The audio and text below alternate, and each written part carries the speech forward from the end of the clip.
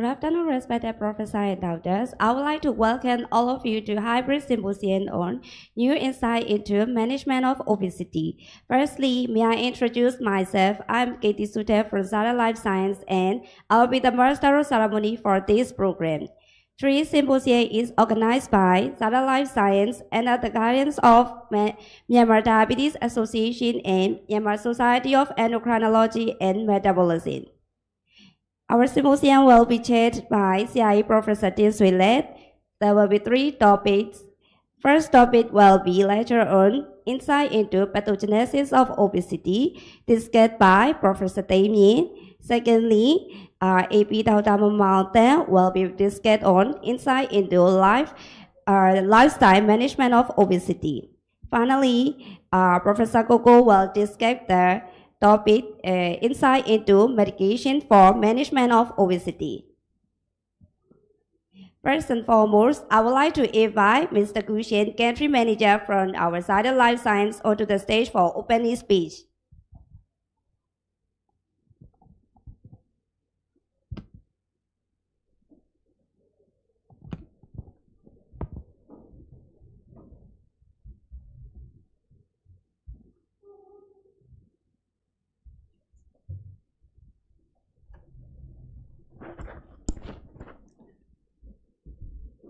So Minglaba, good afternoon.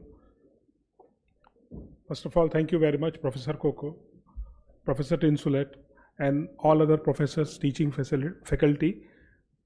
the doctors, those who are present here, and almost 250 doctors, those who are attending this program through web, right? So this is a month where basically it is been utilized to create the awareness about the obesity, and we all know what kind of disease burden, which is this bringing to the not only developed countries, in fact, to also the third world countries, right? So I really thank each one of you to take the time out from your busy schedule and join us in our effort to create awareness about the obesity and the latest trend. We have galaxy of speakers, the, the most wise doctors available. They are definitely going to speak about this subject. So I am here to speak about what we are doing as Zydus in Myanmar. So Zydus as a company which has almost a history of more than 70 years, uh, we are a company which has originated from India and now we are a truly global company with a mission, vision and purpose so that we can empower people with the freedom to live healthier and more fulfilled life. That's our purpose and that's the reason we exist. So as I told you, our history is for more than 70 years. And as a company, we have a global revenue more than $2.5 million based on what we have, uh, the numbers reported last year. We are a company which was originated in India, but just to tell you, in US, there are innovator companies and also the generic companies. Among generic companies, we are the fifth biggest company in US. So that speaks about the quality and obviously the, the kind of recognition we are getting it globally, right? And we have almost 36 manufacturing fa facilities across the globe and with a capacity to produce more than 28 billion tablets or capsules per year. In India, we are once again the fifth largest company. There are a lot of brands which are featuring in top 300 our focus has been not only on providing the affordable medicine, we are also a company basically into the research. Very recently, uh, we have once again come out with a drug which very in maybe next two to three years, this will also be available in US. And this drug has shown a lot of positive trials uh, report in terms of basically fatty liver and some of the other indications. So, so this is all about the capacity and capability. And once again, to showcase, as I was talking to you about 36 manufacturing plants, our plants are not only in India, we have three plants in US, then Brazil, UK, and we are very proud to have one plant which, which is there very much in, in Yangon, Tiloa, right? This is also a state of our plant. Now, why this plant is very significant for us and for each one of us in Myanmar. Because if we look at right now the challenges which Myanmar is facing, uh, we have a lot of dependence in terms of importation of medicine. Every import of medicine put little pressure on the country's economy, right? And then basically, uh, when importation is happening, there is no development of talent in terms of pharmaceutical manufacturing. So in 2016, our chairman, when he visited at that time, local authorities have requested them, why don't you set up a plant? And that's how that vision happened. In 2018, the plant set out with almost a investment of 35 million US dollars. And today the fruits are in front of you, right? So we are basically working with Myanmar for this self-reliance in terms of manufacturing of all the medicines which are required, not only for Myanmar. And I'm very happy to share with each one of you because initially plant was plant was set up that we will be able to help the local patients in getting the newer products at an affordable price. But now we have gone one step ahead. The medicines which we are manufacturing in Myanmar, not only we are selling it Myanmar, we are exporting also. Just last month itself, uh, once again, the newer product, Gliptin, the ingredient is uh, linagliptin and linagliptin combination. I think uh, we have done an export to Bolivia. This is our second export to that particular country. Up till now, Myanmar was basically on the import map of pharmaceuticals. But now, with all of your support and the people, those who are working with us in our plant, we are not only bringing Myanmar on the export map of the world, in fact, it is matter of proud for each one of us that medicines which are manufactured in Myanmar by the people of Myanmar are going to be consumed in some other countries. So, so this is this is a vision, right, with which we are setting up. There are now eight to ten other manufacturing plants also available. But how Zydus is using the plant, we are basically manufacturing the complex products, the products which are patent uh, protected, which cannot be launched by any other company which is having a headquarter in India. So this is going to bring the latest molecule at a faster speed, affordable price, and 24 by 7 availability for your patients. So this is how Elidec, which is a subsidiary of Zydus, is going to make the difference for patients of Myanmar. And we request you to give us your continuous support. In terms of our quality parameters, they are, they are same across the world. So whatever our quality parameters are there in US, the same kind of quality protocols we have. And that's the reason I told you the product which we have manufactured in Myanmar are ready for export. Another good point, right? It's not only Bolivia. Now there are many products which are under registration in neighboring countries, Southeast Asia, in Philippines, which is a quite stricter market, right? Vietnam and some other countries in Southeast Asia. So this plant is not only going to manufacture once again for patients of Myanmar, which is our priority, but whatever is our surplus capacity, right? The, the, the neighboring country patients also will be benefited because of that plant.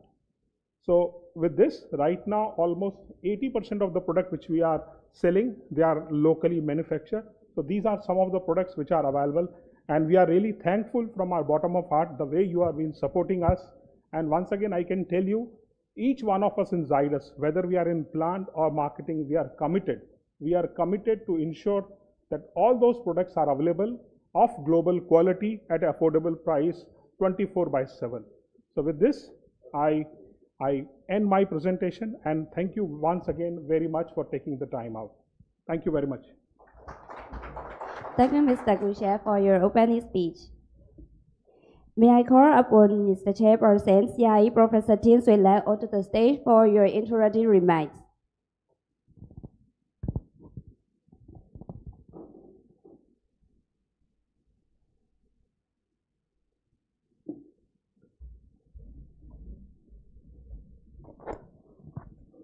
အားလုံးမင်္ဂလာပါအာဒီနေ့ကျွန်တော်တို့ new insights into the management of obesity အာ symposium မှာကျွန်တော် chairperson အနေနဲ့အဲပြုလုပ်ခွင့်ပေးတဲ့အတွက်ကျေးဇူးတင်ပါတယ်။နောက်ဟိုအဖွင့်မှာစကားပြောကြားခွင့်ပေးတဲ့အတွက်လည်းကျေးဇူးတင်ပါတယ်။အဲ့တော့ obesity ဆိုတာသိတဲ့အတိုင်းကျွန်တော်တို့မကြာခဏပြောနေတဲ့ topic ပါ။ဒီနှစ်ကိုကျွန်တော်တို့မှတ်မိသလောက်ဆိုရင်အနည်းဆုံးနှစ်ခါနဲ့သုံးခါလောက်တော့မျိုးစုံကျွန်တော်တို့ပြောရတဲ့အထက်မှာပါတယ်နော် diabetes ကျန်တဲ့ cardiovascular disease နဲ့ obesity ကခွဲမရတဲ့ခါကျတော့အဲ့ဒါတွေကတော့မကြမ်းခဏပြောတယ်ပေါ့သို့ပါတော့ညာလဲဒီနေ့ကတော့မကြသေးခင်ကပဲကျွန်တော် obesity ကြောင်းပြောခဲ့သေးတယ်အဲ့တော့ March လ၄ရက်နေ့က World Obesity Day ဖြစ်ပါတယ် World Obesity Day ဒါပေမဲ့အဲ့ဒီရက်မှာကျွန်တော်တို့ဒါမလုပ်နိုင်ဘူးပေါ့ကျွန်တော်တို့အဲအကြောင်းကြောင့်ကြောင့်ခီးလွန်နေတာတွေရောပါလဲပါတယ်အတွက်အနောက်အခန်းရတာမရတဲ့ပုံနဲ့ပူတည်တယ်ရုံးပိရက်မပိတ်တဲ့ပုံမှာလည်းမူတည်တယ်ပေါ့နော် အဲ့ဒါကြီးကြောင့်မလို့အာကျွန်တော်တို့မလုပ်နိုင်ဘူးပေါ့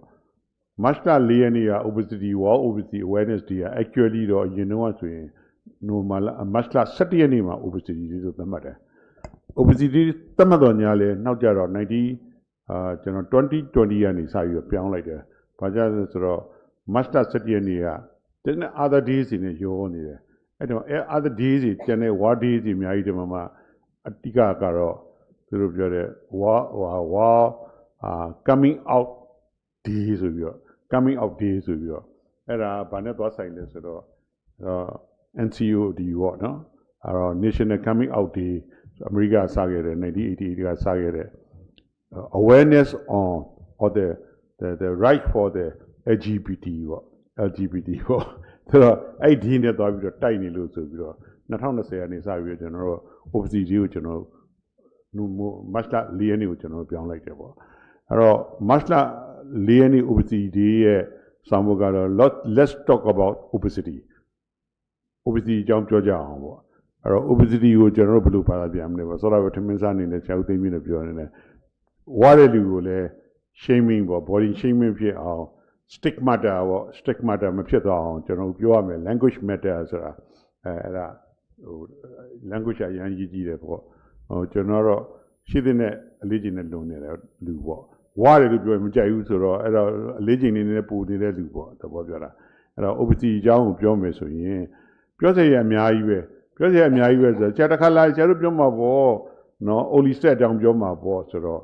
now is not it is no longer only state alone ကျွန်တော်ပြောကြတယ်မှာအများကြီးပဲကျွန်တော်တို့ quite recently ကျွန်တော်တို့ Dubai International Endocrine Society ရဲ့ conference ကနေ World Congress ကနေပြန်လာတယ် အဲ့မှာ obesity the year ဆိုပြီးတော့ပြောတယ်အဲ့နောက် channel topic တွေလည်းပြောတယ် obesity နဲ့ပတ်သက်လို့ပြောတာတွေကသူတို့မပြောတဲ့ကျွန်တော်တို့ကျွန်တော်တို့ဒီမှာပြောနေကြတာတွေအများကြီးပဲ new drugs are coming out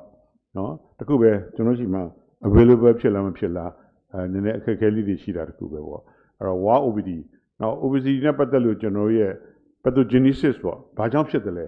ဘာကြောင့်ဖြစ်လဲပုံမှာလဲအစားစားတယ်ပြီးတော့လှုပ်ရှားတယ်နဲတယ်ပေါ့ဒါပေါ့ imbalance ပေါ့ဆိုပေမဲ့အဲ့ဒါရဲ့ ရဲ့ basic အကြောင်းချက်ဒီမှာလည်းအများကြီးအပြောင်းလဲတွေကအများကြီးဖြစ်လာတယ်နောက်တစ်ခါအဲ့တော့ pathogenesis ပေါ်မူတည်ပြီးတော့ lifestyle lifestyle လို့ရမယ် lifestyle လို့တိုင်းလူတိုင်းသိတယ်ပေါ့ lifestyle နဲ့ပတ်သက်လို့လည်း new knowledge တွေပေါ့ new insights တွေသိတာတွေအများကြီးပဲရှိတယ်ပေါ့အဲ့တော့ဆိုတော့ medication တွေပေါ့နော်ခွဲတယ်ပေါ့ခွဲတယ်ပတ်သက်လို့လည်းခွဲလိုက်ရင်ချက်ချင်းခါလဲ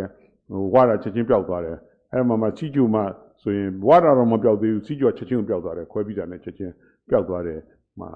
metabolic surgery ပေါ့နော်ဒါ bariatric surgery ခုနောက်ပိုင်းတော့ metabolic surgery လို့ပြောတယ်ပေါ့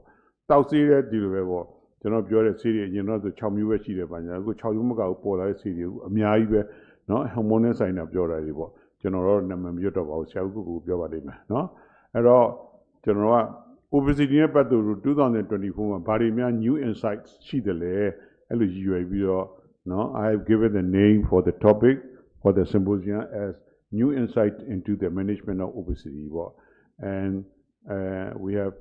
planned to have uh, three speakers, now two renowned speakers. Uh, first topic will be discussed by Professor Damien. Professor Damien, he will be discussing on pathogenesis pathogenesis ကျန်တဲ့ obesity uh, ရဲ့ခြားကြောင်းလေးတွေသူပြောမှာပေါ့ pathogenesis ကိုနားလည်မှကျွန်တော်တို့ကအဲ့ဒါပေါ်မူတည်ပြီးတော့ကုထုံးကကျွန်တော်တို့က ဟိုပေးရတာဖြစ်တဲ့အတွက်ကြောင့်မို့ second topic ကတော့ now non pharmacological management အထူးဖြင့် lifestyle နဲ့ပတ်သက်လို့ဘယ်လိုစားမယ်ဘယ်လိုတောက်မယ်ဘယ်လိုအိပ်မယ်ဘာနဲ့အကြောင်းကြားတွေပေါ့ new insights တွေကို professor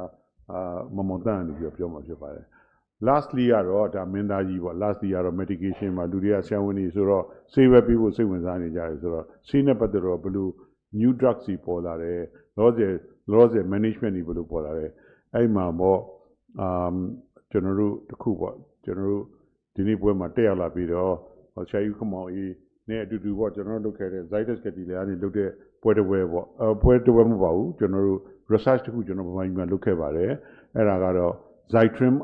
R ပေါ့ Zytrim R အဲ့ဒါနဲ့ပတ်သက်အောင်မြင်ပါတယ်နော် Hyderabad မှာကျွန်တော်သွား present လုပ်ခဲ့တယ်အဲ့မှာ discussion တွေကျွန်တော်တို့လုပ်ခဲ့တယ်ပေါ့အဲ့ဒါနဲ့ပတ်သက်တဲ့ new data တွေတွေကျွန်တော်တို့ဗမာပြည်မှာတကယ်လက်တွေ့လုပ်ထားတာပေါ့လုပ်ထားတဲ့ပွဲတွေမှာ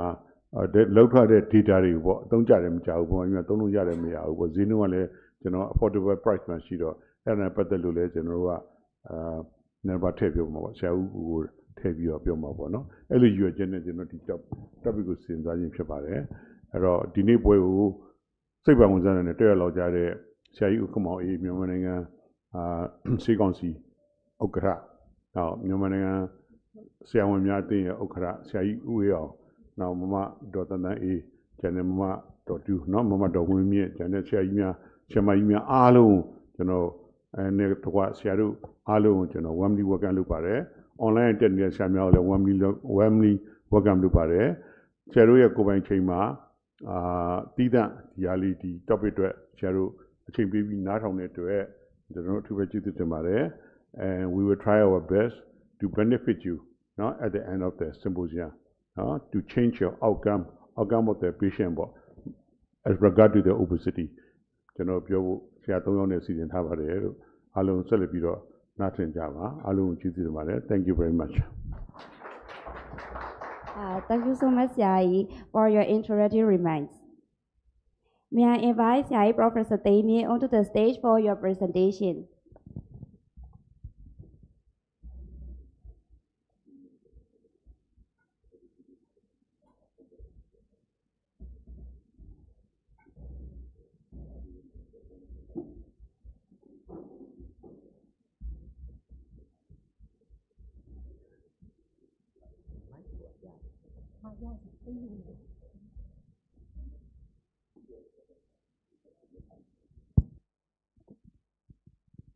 အားလုံးပဲမင်္ဂလာပါခင်ဗျာ။အဲ့တော့ကျွန်တော်တို့ဒီနေ့နော်ဟိုဝါတဲ့လူတွေကနေရောဝါတဲ့အကြောင်းပြောတယ်ဆိုတော့တစ်မျိုးတော့တစ်မျိုးကြီးဖြစ်နေ။ဒါပေမဲ့ကျတို့ကြည့်ကြပါဒီလိုဝါနေတဲ့လူတွေကနေဝါတဲ့အကြောင်းကိုပြောမှနော်ဝါတာကိုဒီဒီပိုကြီးပြည့်စုံမယ်လို့ထင်ပါတယ်။အဲ့တော့ကျွန်တော်ကတော့အားလုံးအရှိမခြေစင်းသဘောလေးပေါ့ နော်ဒီယောဂါကြီးဘယ်လိုကုမယ်ဆိုတဲ့နေရာမတိုင်ခင်မှာဖြစ်ဘယ်လိုဖြစ်လဲဆိုတော့နော် pathogenesis လေးကိုကျွန်တော်ကဆွေးနွေးတင်ပြမှာဖြစ်ပါတယ်။ဆိုတော့အဲ့တော့ပထမဆုံးကတော့ကျွန်တော်တို့က obesity ဝတယ်ပေါ့နော်ဝတယ်ဆိုဝတာဘာကြီးလဲပေါ့ကိုလုံးကြီးကြီးတာဝတာလားပေါ့အလေးချိန်ကြီးများတာဝတာလားပေါ့ပေါင်200ဆိုရင်ဝပြီလားပေါင်150ဆိုဝပြီလားဘယ်အခါဝတာလဲပေါ့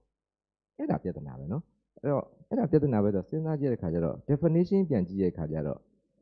လေးတာပေါ့တာနဲ့ဆိုင်ဘူးတဲ့အစီတွေများမှဝတယ်ခေါ်တာတဲ့အဲ့တော့ခန္ဓာကိုယ်မှာအစီများတယ်ဆိုတဲ့သတ်မှတ်ချက်တစ်ခုကိုရောက်တဲ့အချိန်ကျရင်တော့ကျွန်တော်တို့ဒီဝတယ်လို့ပြောလို့ရတယ်အဝလွန်တယ်လို့ပြောလို့ရတယ်အဲ့တော့တစ်ခုပဲဩဘာဖြစ်လဲဆရာရဲ့ဝတော့လှတာပေါ့ဟုတ်သေးဘူးတဲ့ဝတာကိုယောဂလို့သတ်မှတ်လိုက်ပါပြီတဲ့ဘယ်တော့သတ်မှတ်လဲဆိုတော့2022ကနေစပြီးတော့ ဝခြင်းဒီယောဂပါပဲတဲ့ကိုယ်လေးချင်းကြီးချင်းသေးချင်းနဲ့လည်းမဆိုင်ဘူးလေးချင်းပေါ့ချင်းနဲ့လည်းမဆိုင်ဘူးခန္ဓာကိုယ်မှာအစီတွေများရင်ဒါဒီအဝလွန်ဒီလို့သတ်မှတ်တယ်အဝလွန်ရင်ယောဂလို့သတ်မှတ်ပါတယ်တဲ့ဆိုတော့ဟုတ်ပြီအဲ့ဒီအစီတွေများတယ်ပေါ့ adiposity တွေများတာကိုကျွန်တော်တို့ဘယ်လိုသိနိုင်မလဲပေါ့ဘယ်လိုမျိုးကျွန်တော်တို့သတ်မှတ်နိုင်မလဲဆိုတဲ့အခါတော့လောလောဆယ်အထိတော့ဒီကမ္ဘာလုံးတညီတညွတ်တဲ့လက်ခံထားတာတော့ BMI ပေါ့ နော် BMI ဘယ်လိုအတွက်လဲဆိုတော့ကျွန်တော်အထူးပြောစရာမလိုပါဘူးဆရာတို့ဆရာမတို့သိပြီးသားပါ weight in kg divided by height in meter square နဲ့တွက်လိုက်လို့ရှိရင်ကျွန်တော်ဒါသူ့ရဲ့ BMI ဆိုတော့ထွက်လာပါမယ်လက်ရှိအချိန်ထိတော့ obesity နဲ့ပတ်သက်တဲ့ guideline တွေအကုန်လုံးဒီတညီတညွတ်တဲ့လက်ခံထားတာတော့ BMI 30ကျော်ရင် obesity လို့သတ်မှတ်ပါတယ်အဲ့မှာသူ class D class 1 class 2 class 3 4 BMI 40ကျော်လို့ရှိရင်တော့ဒါဒီ class 3လို့သတ်မှတ်တယ်စိုးတယ်ပေါ့နော်ဒီဥစ္စာလေးက အဲ့တော့ BMI မှာကောအားသာချက်အားနည်းချက်တွေရှိရတာအများကြီးရှိပါတယ်ဒါပေမဲ့ကျွန်တော် pathogenesis လို့ဆိုတဲ့အတွက်ဒီဟာကိုဒီဒီမပြောတော့ပါဘူးအဲ့ဒီအတွက်ကြောင့်မို့တခြားနီလန်းနဲ့ကောအစီများခြင်းကိုသိနိုင်သလားလို့ဆိုတဲ့အခါသိနိုင်တဲ့နီလန်းလေးတွေလည်းရှိပါတယ်တဲ့ဘာတွေနဲ့ဆန်းလဲဆိုရင်တော့ percent body fat ဆိုတဲ့ဥစ္စာတွက်နည်းလေးတွေရှိပါတယ်ဒါကိုတိုင်းတာလို့လည်းရပါတယ်အဲ့ဒီခါမှာနော်တကယ်ခန္ဓာကိုယ်မှာအစီပါဝင်နှုန်းအမျိုးသမီးဆို35တစ်နှစ်ရာနှုန်းအမျိုးသားဆို25ရာနှုန်းကျော်ရင်ဝါတယ်လို့သတ်မှတ်ပါတယ်ဟွန်း ကျွန်တော်ဘိုက်မကြည့်နဲ့နော် abdominal obesity အနေနဲ့နော်ကျွန်တော်တို့ကအမျိုးသားနဲ့အမျိုးသမီးဆိုလို့ရှိရင်အမျိုးသမီးဆိုရင်35 inches နော်အမျိုးသားဆိုရင်40 inches ကျော်လို့ရှိရင်ခန္ဓာကိုယ်မှာအစီတွေများတယ်လို့သတ်မှတ်ပါတယ်တဲ့ဒီဟာလေးကနော်အဲ့ဒါဆိုလို့ရှိရင်တော့ကျွန်တော်တို့ကဘယ်အခါမှဝရတယ်လို့ပြောမလဲဆိုတဲ့ကိစ္စလေးတော့ရသွားပြီပေါ့နော်အဲ့မှာတစ်ခုပေါ့နော်ကျွန်တော်တို့ကလူတွေကခေတ်အမြောက်တစ်ဖြည်းဖြည်းနဲ့ယဉ်ကျေးတိမ်မွေးရမယ်ပေါ့နော် ဆိုတဲ့အခါကျတော့သူကဝရတယ်ဆိုတာလဲပြောတာပြောတာပေါ့နော်အော်ဟင်ဒီလူကြီးကဝါလိုက်တာဝတ်တုတ်ကြီးလို့အပြောခံရင်စိတ်ထဲမှာတော့ဖီတင်တော့အောက်တာပေါ့နော်ဆရာတို့ဆရာမတို့ဝတ်တုတ်ကြီးလို့အပြောခံတာဘယ်သူကကျေနပ်မှာလဲအဲ့တော့ဝတ်တုတ်ကြီးလို့တော့မပြောပါနဲ့တဲ့ obese patient လို့မပြောပါနဲ့တဲ့အဲ့တော့ဘယ်လိုပြောရမလဲဆိုတော့ patient with obesity တဲ့နော်ဆိုတော့အဲ့ဒါဘယ်လိုဘာသာပြန်မလဲဆိုရင်တော့လေခုနဆရာကြီးပြောသားလိုပဲရှိတဲ့တော့ကိုယ်လေးချိန်တဲ့ညားနေတော့သူပေါ့နော်ဝတ်တုတ်ကြီးလို့တော့မခေါ်ပါနဲ့ပေါ့နော်ဒါလေးကဒါကတော့ကျွန်တော်တို့က diabetes ရဲ့ထိုနည်းတစ်ကောက်မှာပဲ diabetic patient လို့မသုံးပါနဲ့ patient with diabetes အခုတော့အဲ့လိုမျိုး patient with ဆိုတဲ့ဟာလေးတွေကိုအသုံးနှုန်းလေးတွေပြင်ပြီးတော့ခေါ်လာကြပါပြီတဲ့ အဲ့တော့ဟုတ်ပြီကျွန်တော်တို့ကဝါတာဒီခန္ဓာကိုယ်မှာအစီဓာတ်တွေများနေလို့အစီတွေများလို့အဲ့ဒီအစီတွေကဘယ်လိုလို့များလာတာလဲပေါ့ခန္ဓာကိုယ်တွေကိုဘယ်လိုလို့များလာတာလဲဆိုတော့ပြန်စဉ်းစားကြည့်တဲ့အခါကျတော့ तू ကနှစ်ခုဖြစ်နိုင်တယ်တဲ့တော်တော်များများပြောကြတာပေါ့နော်ဟာအစားများပြီးတော့အသုံးနဲ့လို့ရှိရင်ပိုလာရင်အစီတွေတက်မှာပေါ့ဟုတ်တယ်ဒါလည်းတစ်ခုမှန်တယ် energy intake နဲ့ utilization imbalance ဖြစ်သွားတာနော် intake တွေများနေတာနောက်တစ်မျိုးကကြတော့အဲ့လိုတွေမကသေးဘူးတဲ့ ခန္ဓာကိုယ်မှာအစီဆိုတာအခြေခံအားဖြင့်နှစ်မျိုးပေါ့ white နဲ့ brown ပေါ့အဲ့ဒီမှာ beach ဆိုတဲ့ဥစ္စာလေးတစ်ခုကလည်းပေါ်လာသေးတယ် white ထဲမှာမှ brown action လုပ်တဲ့ဟာလို့အလွယ်မှတ်ထားရင်ရပါတယ်အဲ့ဒီဥစ္စာလေးတွေရဲ့နေရာထိုင်ခင်းပေါ့ရှိတဲ့နေရာမရှိပဲမရှိတဲ့နေရာတွေရှိလာရင်လည်းပဲအဝလွန်ခြင်းဆိုတာဖြစ်လာတတ်ပါတယ်တဲ့ဒါလေးကအဲ့တော့ဘယ်လိုများဖြစ်လဲဆိုတော့တစ်ဆင့်ချင်းပြန်စဉ်းစားကြည့်တဲ့အခါပထမဆုံး intake နဲ့ utilization ကြည့်ကြတာပေါ့တာမန်အားဖြင့်ဆိုရင် intake နဲ့ expenditure နဲ့ balance ဖြစ်နေရင်လူဒီ ဟွာလည်းမဟုတ်ဘူးပိန်လည်းမပိန်ဘူးသူကသူပုံမှန်ဖြစ်နေမယ်အဲ့တော့တစ်ဖက်ကတော့ intake ကဘာတွေစားမလဲဆရာတို့ဆရာမတို့သိပြီးသားပါ carbohydrate တွေ protein တွေ fat တွေစားကြမယ်ပြန်သုံးဆွဲတဲ့အခါဘာလဲ basal metabolic rate ကခန္ဓာကိုယ်ကဘာမှမလုပ်ပဲအိတ်နေလဲသုံးနေတယ်နော်တစ်ဖက်ကတော့ physical activity ဒါကတော့ခန္ဓာကိုယ်အပြောင်းအလဲတွေအများကြီးရှိတယ်ပြီးတော့အစာစားလိုက်ရင်အပူထွက်တယ်အဲ့ဒီ diet induced thermogenesis ကလည်းသုံးတယ်အဲ့တော့ဒီကောင်တွေကပြန်သုံးတယ်ဒီဘက်ကအထဲကိုထည့်တယ် အဲ့တော့သူတို့နှစ်ဖက် balance ဖြစ်နေသူက normal body weight ပဲခန္ဓာကိုယ်ရဲ့ကိုယ်တွင်းကလေးစားတွေဒီကောင်းကောင်းမွန်မွန်သူကသူနေမြဲတိုင်းနေနေတဲ့ကျန်းမာသော stage မှာရှိနေတယ်ဒါကတော့ကျွန်တော်တို့ခုနပြောတဲ့ white fat နော် brown fat ဆိုတဲ့ဥစ္စာလေးတွေ white adipose tissue brown adipose tissue သူကသူ့နေရာနဲ့သူရှိရမယ်အဲ့မှာမှာ white adipose tissue ကအကျန်းပြင်းအပြင် group နှစ်ခု꿰သွားတယ်သူကဘလို့꿰သွားလဲဆို subcutaneous မှာနေတဲ့ group ရှိတယ် visceral မှာနေတဲ့ group ရှိတယ် အဲ့တော့ subcutaneous မှာနေရတော့အများဆုံးဒီတွေးသမျှ subcutaneous နေရာတွေအကုန်လုံးမှာနေတယ်အဲ့ဒီဟာတွေကကြည့်ရတာတော့ဖုဖုဖောင်ဖောင်ဖြစ်နေပေမဲ့သူကတကယ်တော့သိပြဿနာမရှိဘူးဒီကောင်လေးဒီအကြမ်းပြင်းအားဖြင့် insulin sensitive ဖြစ်တာများတယ်သူကသူကဖောင်ဖောင်လေးတာဖြစ်နေပေမဲ့လူကိုအရန်ကြီးဒုက္ခမပေးဘူးဒုက္ခပေးတာ visceral white adipose tissue ကဒုက္ခပေးတယ်သူကဘာလဲဆိုလို့ရှိရင်တော့အထဲထဲမှာသူကသွားပြီးတော့ဝင်နေတဲ့ဟာလေးတွေရှိတယ် နော် peri renal pericardial omentum mesenteric bacteria မှာအကုန်လုံးတော့ဝင်နေတယ်ဘာကြောင့်လဲဆိုတော့အဲ့ဒီအများစုသည် insulin resistant ဖြစ်တာများတယ်ဒါကြောင့် central obesity တို့ဗိုက်ကြီးဖောင်းနေမကောင်းဘူးတို့လူကြီးတစ်ခုလုံးဝနေဝပလိတွေသိကိစ္စမရှိဘူးဒီကုလုံးကဗိုက်ကြီးပဲဖောင်းနေပြဿနာရှိတယ်အခုဆိုကျွန်တော်မှပြောရင်ပြောရင်ဗိုက်ကလေးရှုံရှုံထားရတယ်နှမို့ဆရာတို့ကကျွန်တော်ပြောပြီးကျွန်တော်ဗိုက်ပဲကြည်နေတာဆိုတော့အဲ့တော့ကြံတာတော့ brown adipose tissue ကတော့ကောင်းသောအစီပေါ့ဒါကတော့ထားပါတော့ခန္ဓာကိုယ်မှာ thermogenesis တွေထားတာလေးပေါ့ အဲ့တော့အဲ့ဒီဒီဟာတွေများလာရင်လည်းကျွန်တော်တို့ဒီဝရတဲ့တဲကိုရောက်လာမှာဖြစ်ပါတယ်တဲ့အဲ့တော့ကောင်းပြီကျွန်တော်တို့ကနော်အစားအသောက်လေးကိုပြန်ကြည့်တာပေါ့ပုံမှန်အားဖြင့်တော့ဗျာကျွန်တော်တို့ကနော်အသားကတော့အသားကိုသွားတာများတယ်အသားကနေပြန်ပြီးတော့နောက်တစ်ဆင့် energy ပြောင်းတာတော့နောက်တစ်ဆင့် fat ပြောင်းတာတော့အဆင့်များပြီးရှုပ်ထွေးတယ်သူကအသားကဒါမှမဟုတ်ဆရာဆရာဥပ္ပကတော့ခဏခဏပြောတယ် weight ချခြင်းလို့ရှိရင်အသားများများစားပြည့်မယ်အသားတက်ပြန်ရအောင်ဆိုတော့ဆရာ အဓိကကျွန်တော်တို့ဒုက္ခပေးတာအချိုနဲ့အစီအစီစားလို့အစီတက်တာတော့ရှင်းတယ်ဒီဟာတွေဒီစားတာရဲ့မူရင်းရည်ရွယ်ချက်ဒီစားပြီး energy ထုတ်မယ် acetide CoA ဖြစ်သွားရင်ဒါဒီကျွန်တော်တို့ energy အနေနဲ့ဖြစ်သွားပြီအစီစားလဲ energy ထုတ်မယ်အသားဟိုအချိုစားလဲ energy ထုတ်မယ်အသားကတော့မရှိတဲ့အချိန်ကြမှာအသားကနေ energy ပြန်ထုတ်မယ်အဲ့တော့အစီစားလို့ဒီလိုဖြစ်ပြီးရင်အဲ့တော့ကျွန်တော်တို့ကစားတင်တာတဲ့ပိုစားရင်ဘာဖြစ်မလဲပေါ့ပိုစားရင်ဘာဖြစ်လဲနည်းနည်းပိုသွားလို့ရှိရင်ဂလူကို့စ်ပို့ရင်သူကဂလိုင်းကိုဂျင်နေနဲ့သိမ့်လိုက်တယ် ဘယ်နာသိမ့်လဲတဲ့မာဆယ်ဆိုလဲမာဆယ်ပေါ့ fat ဆိုလဲဟိုသူကသူ liver ဆိုလဲ liver ပေါ့ဂလိုင်းကိုဂျင်ဆိုတာလေသူကရှိတဲ့ organ မှာ train ထိန်းထားလိုက်တယ်ဒါပေမဲ့အဲ့ဒါအများကြီးသိမ့်လို့မရဘူးသူကနော်တစ်ဖက်ကတော့အစီတွေများတော့သူက triacyclase ဆိုတော့ TG အနေနဲ့ adipose tissue တွေမှာသွားသိမ့်လိုက်တယ်ဒီဥစ္စာကိုညဒါလည်းသူကသူပုံမှန်အားဖြင့်ပဲဒီဟာလေးကဒါကတော့သူကခန္ဓာကိုယ်မှာများများတူထောင်ခြင်းပိုလာရင်အဲ့ဒီကိုသွားပို့ပေးတာပေါ့နော် အဲ့တော့တကယ်လို့များသူကတအားများလာရင်ဘာဖြစ်လဲဆိုတော့ဒီမှာတင်မကတော့ဘဲနဲ့ triacyclisterol အနေနဲ့စားလိုက်တဲ့အချိုတွေကလည်းပဲအစီအဖြစ်ကိုပြောင်းပြီးသွားသိမ်းထားတယ်ဂလိုင်းကိုဂျင်ကမလုပ်ဘူးလားဆိုတော့ तू ကဘာလဲဆိုတော့ကျွန်တော်တို့ pocket money နဲ့တူတယ်အရေးပေါ်သုံးဖို့ခန္ဓာကိုယ်မှာလိုအပ်တဲ့အချိန်မှာထုတ်သုံးဖို့အတွက်ကိုဥမာ exercise လုပ်တယ်အစားတွေမစားဘဲလုပ်နေ grind ကိုချင်းနေတော့ break down လုပ်ပလိုက်တယ်အစီကိုအရင်မလုပ်ဘူးဘလို့မှမနိုင်တော့မှဟိုဘက်ကကောင်သွားနိုင်တာသူ့ရဲ့သဘောတရား အဲ့လိုမျိုးဆိုတဲ့ခါဓာတ်ကောင်းလေးများလာလေများလာလေတဖြည်းဖြည်းအစီတွေစုစုစုစုစုစုလာလေအဲ့ဒါကြောင့်အချိုစားလဲအစီအဖြစ်ကိုပြောင်းပါတယ်လို့ဒီဟာလေးကနော်အဲ့တော့ကောင်းပြီကျွန်တော်တို့ကဒီလိုများများစားရင်တော့စုသွားတာဟုတ်ပြီဘာဖြစ်လို့လူတွေကအဲ့လို positive energy balance တွေရရနေရလဲဘာဖြစ်လို့ပိုပိုစားနေတာလဲပေါ့စဉ်းစားစရာရှိသူ့ဟာသူတွေပဲစားလိုက်ကုန်လိုက်ဆိုတော့ပြီးသွားတာပဲ ဘာဖြစ်လို့စားနေလဲဆိုတဲ့ဥစ္စာကနော်ဘာဖြစ်လို့ပိုနေလဲဆိုတဲ့ခါကျတော့စားတာများမယ်အသုံးတာနေရင်ပိုသွားမယ်ပိုသွားရင်သွားစုမယ်စုစရာရှိတယ်စုလိုက်ရှင်နောက်ဆုံး organ တွေထဲမှာအစီတွေစုလာမယ်အဲ့ခါမှာကျွန်တော်တို့ obesity ဆိုတာဖြစ်လာမယ်အဲ့ဒီပြဿနာဘာဖြစ်လို့ဒီလိုစားနေလဲဆိုတဲ့ဟာကိုကျွန်တော်တို့ကအဖြေရှာရမှာ obesity ကိုဖတ်ကြည့်ရင်ဆရာတို့ဆရာမတော်ကျွန်တော်တော့တော်တော်ကလေးကိုခေါင်းနေမူပြီးသပင်တွေလည်းတော်တော်ကျွတ်ထွက်တဲ့အထိကိုဖတ်ယူရတယ် mechanism ကအလွန်အင်မတန်ရှုပ်ထွေးပါတယ် ဒါပေမဲ့ကျွန်တော်တို့လက်တွေ့အသုံးချဖို့အတွက်အလွယ်ကူဆုံးဖြစ်အောင်ကျွန်တော်စွမ်းနိုင်တဲ့လောက်အယိုးရှင်းဆုံးလေးဖြစ်အောင်လို့စူးစမ်းပြီးတော့ဆွေးနွေးတင်ပြပါမယ်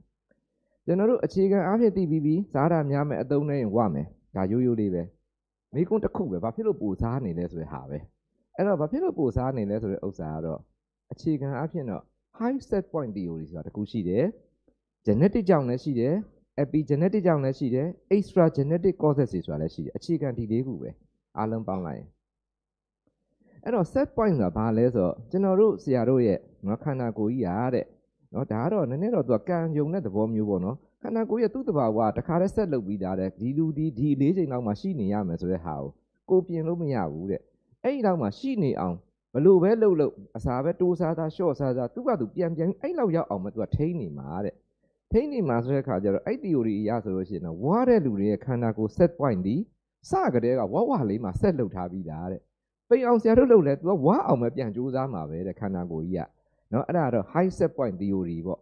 သူကတော့ပြုတ်ပြင်လို့တော့တိတ်မလွယ်ဘူးဆိုတဲ့သဘောမျိုးကိုသူကအစွန်းရောက်တဲ့သဘောလေးတော့ပြောတာပေါ့ဒါပေမဲ့ဒါကလည်းသူဟာသူထိုက်တဲ့လောက်မှန်တဲ့ဟာလည်းရှိတယ်ဒါကိုလည်းသူတို့တက်တည်ပြထားတာလည်းရှိတယ်ဒါပဲလားဆိုမဟုတ်သေးဘူးတဲ့ genetic cause တွေလည်းရှိပါတယ်တဲ့ဒါပေမဲ့ genetic ကတော့သူက direct နော် single gene disorder နဲ့ဖြစ်တယ်ဆိုတာတော်တော်ရှားပါတယ်တဲ့ရှိတော့ရှိတယ်ဒါပေမဲ့အဲ့ဒါယောဂ stage တွေဖြစ် ရိုးရိုးတာမန်ဝါတဲ့လူတွေဒီဒါတွေနဲ့တော့အများအပြားအရန်ကြီးမဖြစ်လာဘူးနော် polygenic ဆိုလည်းပဲတော်တော်ရှုပ်ရှုပ်ထွေးထွေးပဲ gene ဘောင်းစုံနဲ့ရှုပ်ထွေးနေတယ်ဘယ်ဟာနဲ့ဖြစ်တယ် inheritance ဖြစ်ဖြစ်တယ်ဆိုတာလဲတိတ်အရန်ကြီးတော့လက်တွေ့အများစုဝနေတာနဲ့ဆက်ဆက်မှုတိတ်မရှိဘူးဒါယောဂ stage တွေကြီးပဲများနေတယ်အဲ့တော့အဲ့ဒီထဲမှာမှ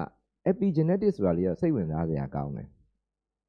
epigenetic ဆိုတာဘာလဲဆိုတော့ gene ကြီးကပြက်သွားတာမဟုတ်ဘူး gene ကလူကောင်းတိုင်းပဲ ကျွန်တော်ပုံမှန် gene တိုင်းပဲအဲ့ gene ကနေ expression ပြောင်းသွားတာဒီဥစ္စာ expression ကတော့သူကအမျိုးစုံပြောင်းနိုင်တယ်ပြောင်းနိုင်တယ်ဆိုတာပတ်ဝန်းကျင်ကြောင့်လည်းပြောင်းနိုင်တယ်အနေထိုင်အစားအသောက်ကြောင့်လည်းပြောင်းနိုင်တယ်အဲ့ဒီတော့ပြောင်းတော့ဘာတွေဖြစ်တယ်လဲပေါ့နော်ပြောင်းတော့ဘာတွေဖြစ်တယ်လဲဆိုတဲ့ခါကျတော့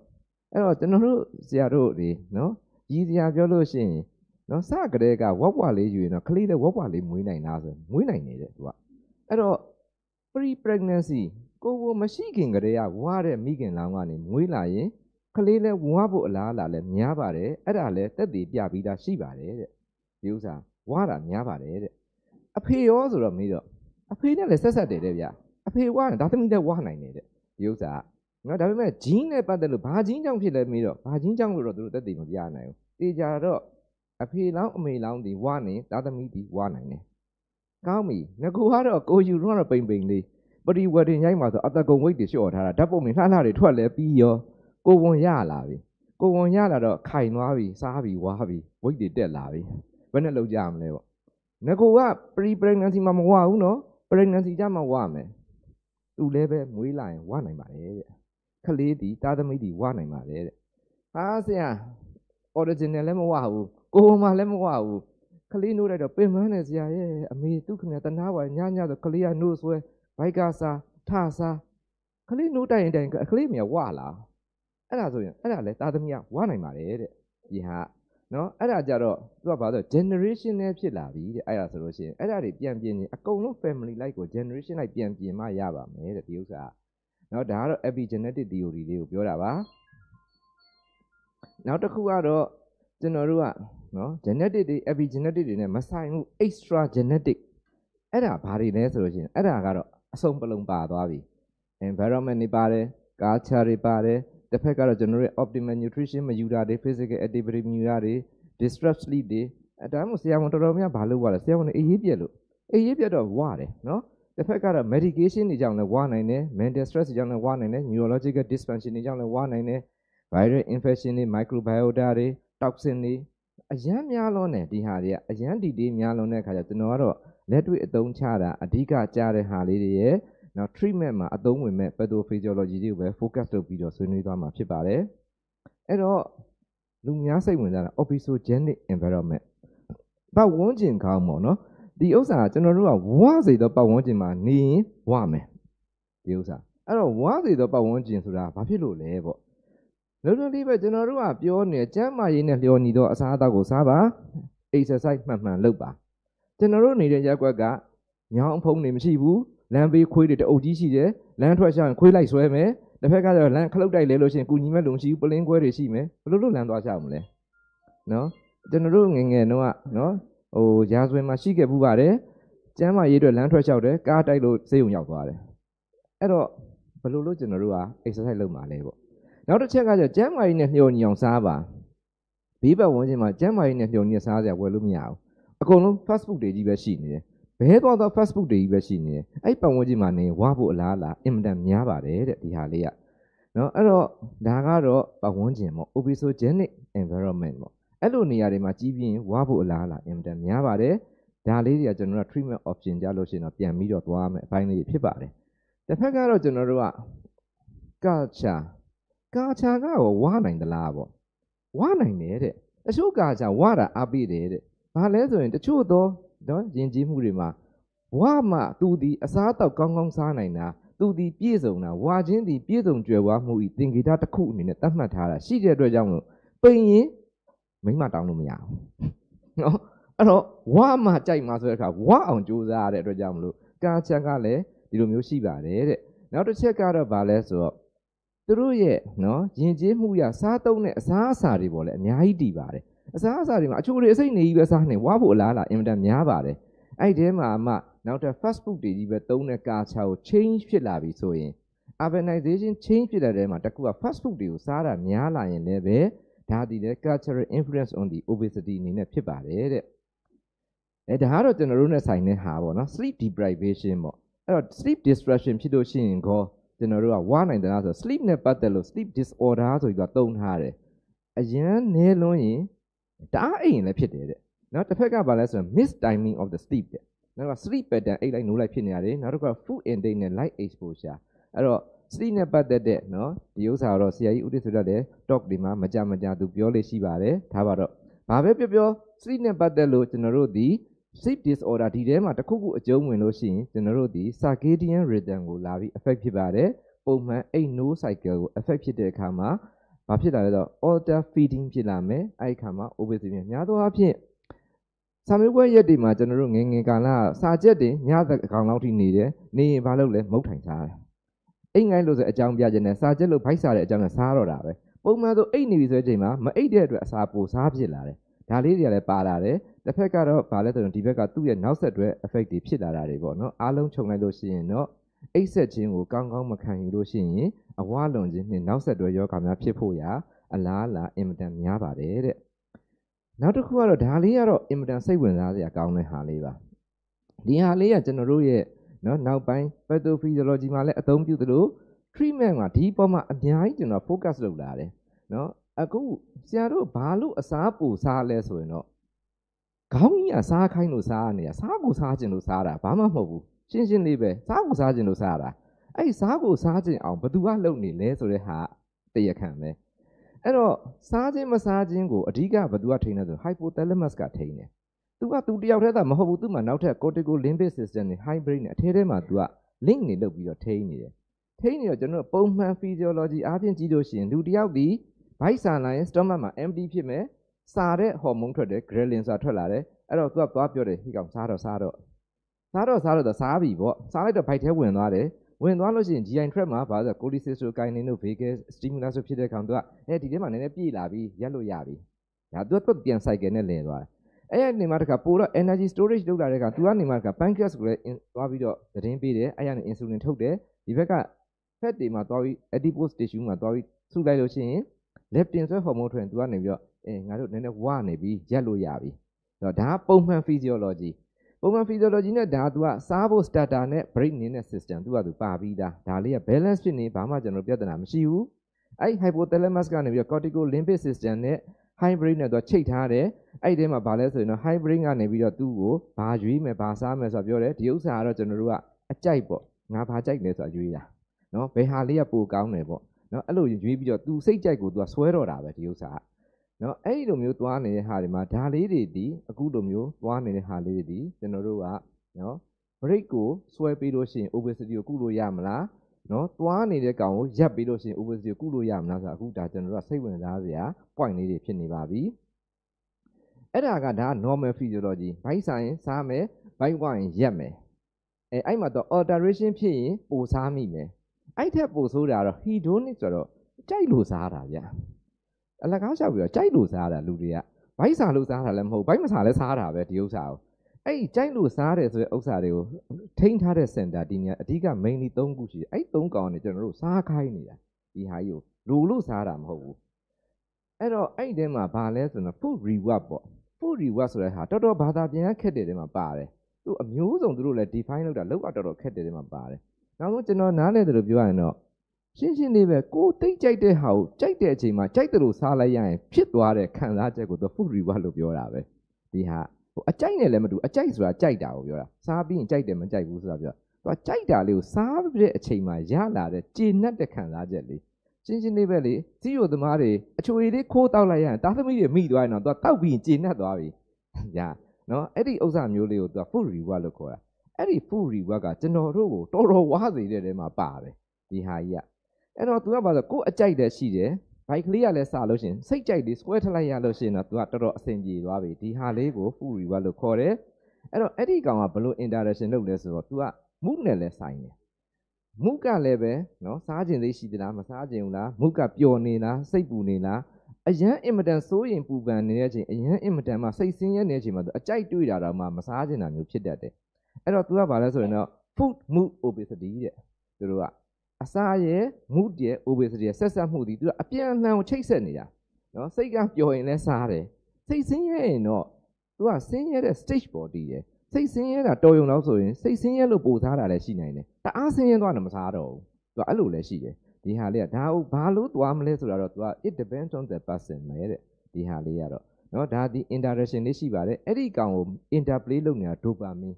အဲ့ဒိုပါမင်းကကျွန်တော်တို့ကိုကျေနပ်ခြင်းဆိုတဲ့ခံစားချက်ကလေးပေးတာဒိုပါမင်းကပေးနေတာအဲ့ဒိုပါမင်းနဲ့အစာနဲ့ချိတ်ဆက်နေတဲ့အတွက်ကြောင့်မလို့ကျွန်တော်တို့ဒီသူခိုင်းလို့စားနေရတာတကယ်တော့နော်အဲ့တော့နောက်တစ်ခုကတော့အဲ့ဒီကိုသွားတဲ့ hypothalamic control မှာရှိတဲ့ mediator စေတပျော်ကြီးပဲဆရာတပျော်ကြီးပဲရိုးသားသောဘုံကလည်းကျွန်တော်တကူမှအလွတ်မရဘူးအဲ့ဒါကူးလာတာဒီဥစ္စာအဲ့လောက်အများကြီးကိုဆရာတို့ဘာလို့ရှောက်ပြီးရေးပြီးကူးနေလဲပေါ့နော်အရေးကြီးတယ် ဘာလို့အရေးကြီးလဲဆိုတော့ तू ကရှင်းရှင်းလေးအားလုံးခြုံလိုက်ရင် first order neuron မှာ तू က hypothalamus မှာနော် satiety ကိုတက်စေပြီးတော့ hunger ကိုကျစေတဲ့ group ရှိတယ် satiety ကိုကျစေပြီးတော့ hunger ကိုတက်စေတဲ့ group ရှိတယ်အဲ့တော့ကျွန်တော်တို့ကပိန်ခြင်းဘာလို့ရမလဲဝါတာကိုပြောင်းပြန်လှန်ရမယ်မစားအောင်လုပ်ပြီးတော့စားတာကိုရက်အောင်လုပ်နိုင်ရမယ်ဆိုတဲ့ခါကျတော့ satiety ကိုတက်ပြီးတော့ hunger ကိုကျစေတဲ့ကောင်တွေကိုပို့ပြီးအားပေးလိုက်ရင်ဝါတာကိုပိန်အောင်လုပ်လို့ရနိုင်တယ် တစ်ဖက်ကတော့စားတာကိုတက်စေပြီးတော့စေတရီကိုကြားတဲ့ကောင်တွေကိုပိတ်ပေးလို့ရှိရင်ကျွန်တော်တို့ဝါတာကိုတားနိုင်မယ်အဲ့မှာမှဒီကောင်ကလည်း group ကြီးသွားတဲ့အခါကျသူ့ထဲမှာပြန်ရင် तू ကထင်သလောက်တော့မရိုးရှင်းဘူးတဲ့ဒီ group ကလည်းကြံတဲ့အကုန်လုံးသွားပြီးတော့ဆက်ဆက်ဆက်ဆက်နဲ့သွားလုံနေတယ်အဲ့တော့နောက်ဆုံးကျဒီကောင်းကိုလုပ်ရင်လည်းသူအတွဲလိုက်ကြီးထိနေဟိုဘက်မှာလည်းသူက data ဒီတက်တယ်လို့လို့ကြားတယ်လို့လို့ဆိုတော့နောက်ဆုံးကျဒီတစ်ခုချင်းစီမှာလုပ်ရင်တော့ပို့ပြီးတော့တိကျတယ် side effect နည်းတယ်ဆိုတာတွေ့ရတယ် ဒါလေးတွေကတော့နော်နောက်ပိုင်း newer target တွေပေါ့သူတို့စိတ်ဝင်စားလေးတာနေတဲ့နေရာလေးတွေနော်ဒါတွေရောနောက်ပိုင်း GI ဥကိုကိုဆွေးနွေးမှုမှာအထိုက်မြောက်ပါလာမယ်ထင်ပါတယ်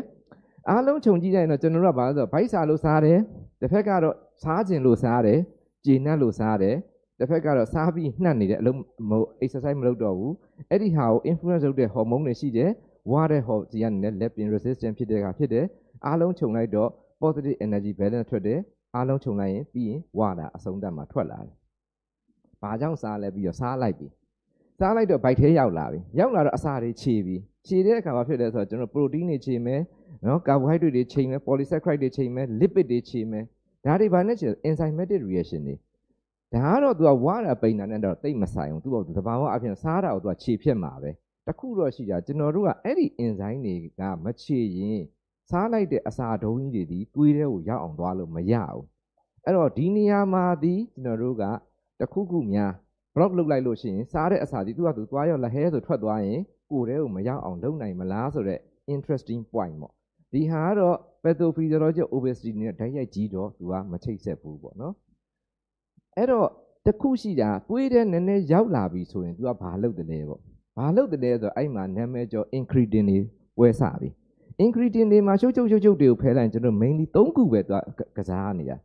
GLP-1 ရယ် GIP ရယ် glucagon ရယ်ဆရာတို့ဆရာမတို့အရင် DPP4 တွေမှာခဏခဏကြားနေရပြီဒါဒါတွေတော်တော်လေးဖန်တရားတေးနေပြီအဲ့တော့သူကဘယ်မှာသွားလဲဆို brain မှာလည်းအလုပ်လုပ်တယ် pancreas မှာလည်းလုပ်လုပ်တယ် white adipose tissue မှာလည်းလုပ်တယ် brown adipose tissue မှာလည်းလုပ်တယ် heart မှာလည်းလုပ်တယ် liver မှာလည်းလုပ်တယ် muscle intestine အကုန်နေရာအကုန်လုံးမှာသွားတယ်ဒီကုလုံး ဒီကုလုံးကိုသွားတဲ့အခါမှာအထူးသဖြင့်တော့ GLP-1 နဲ့ GIP ကတော်တော်ခက်ဆင်ဆင်လေးသွားတယ်ဒါ GLP-1 ကတော့ပိုပြီးတော့ broader range ရှိတယ်အဲ့မှာတစ်ခုပဲ GIP ကဘယ်နာများ GLP-1 ထက်ပိုတာတဲ့နေရာရှိလို့လဲပေါ့ဘယ်နာပိုတာလဲဆိုတော့ तू ကဒီကောင်လေးကနေကြည့်လို့ရှိရင်เนาะကျွန်တော်တို့ကเนาะဒီဘက်မှာဂလူကာကွန်နဲ့ပတ်သက်တဲ့ဟာလေးတွေရှိမယ်เนาะဒီမှာเนาะ तू ကကြတော့တက်စေတယ် GLP-1 ကကျစေတယ် ကျွန်တော်တို့ကတခြားဟာလေးတွေမှာခက်စင်စင်လေးတွေပဲ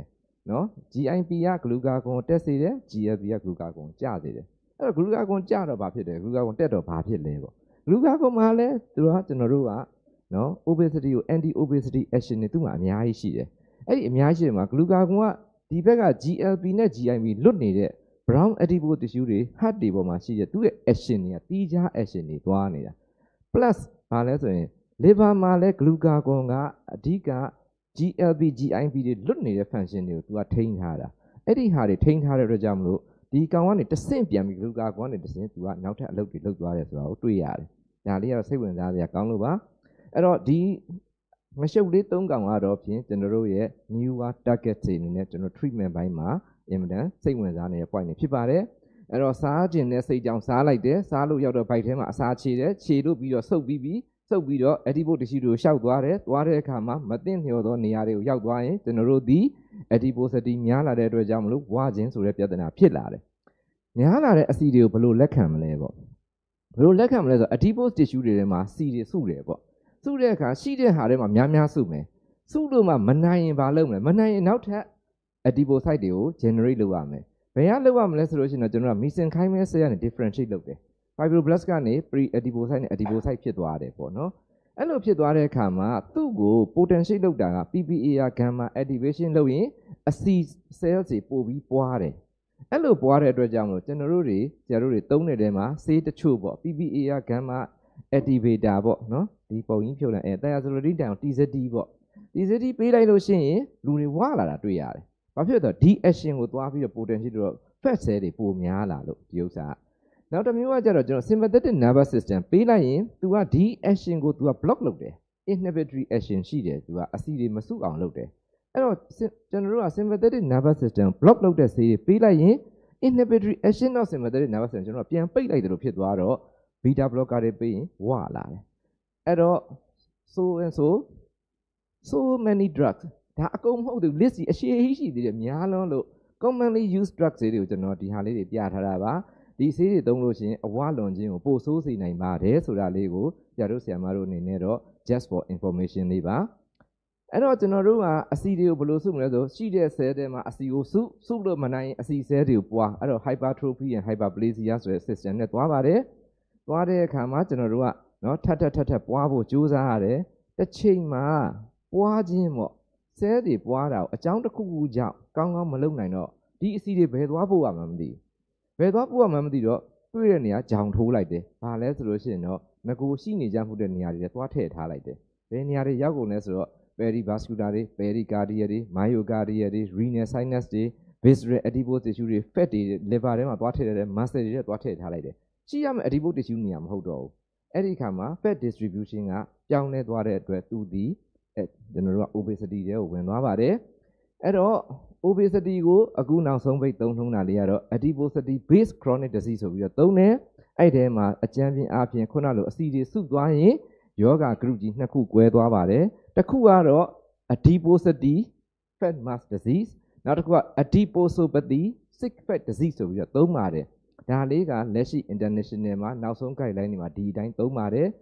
ဒါကတော့ဘာမှမဟုတ်ဘူးအစီတွေများလို့ဒုတယ်ကြီးလို့ဖြစ်လာသော mechanical ယောဂတွေကို adiposity လို့ပြောပါတယ်ဒါကတော့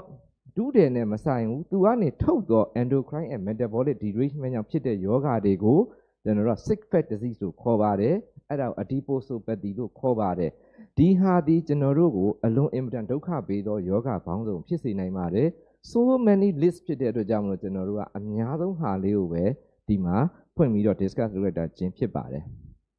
အဲ့တော့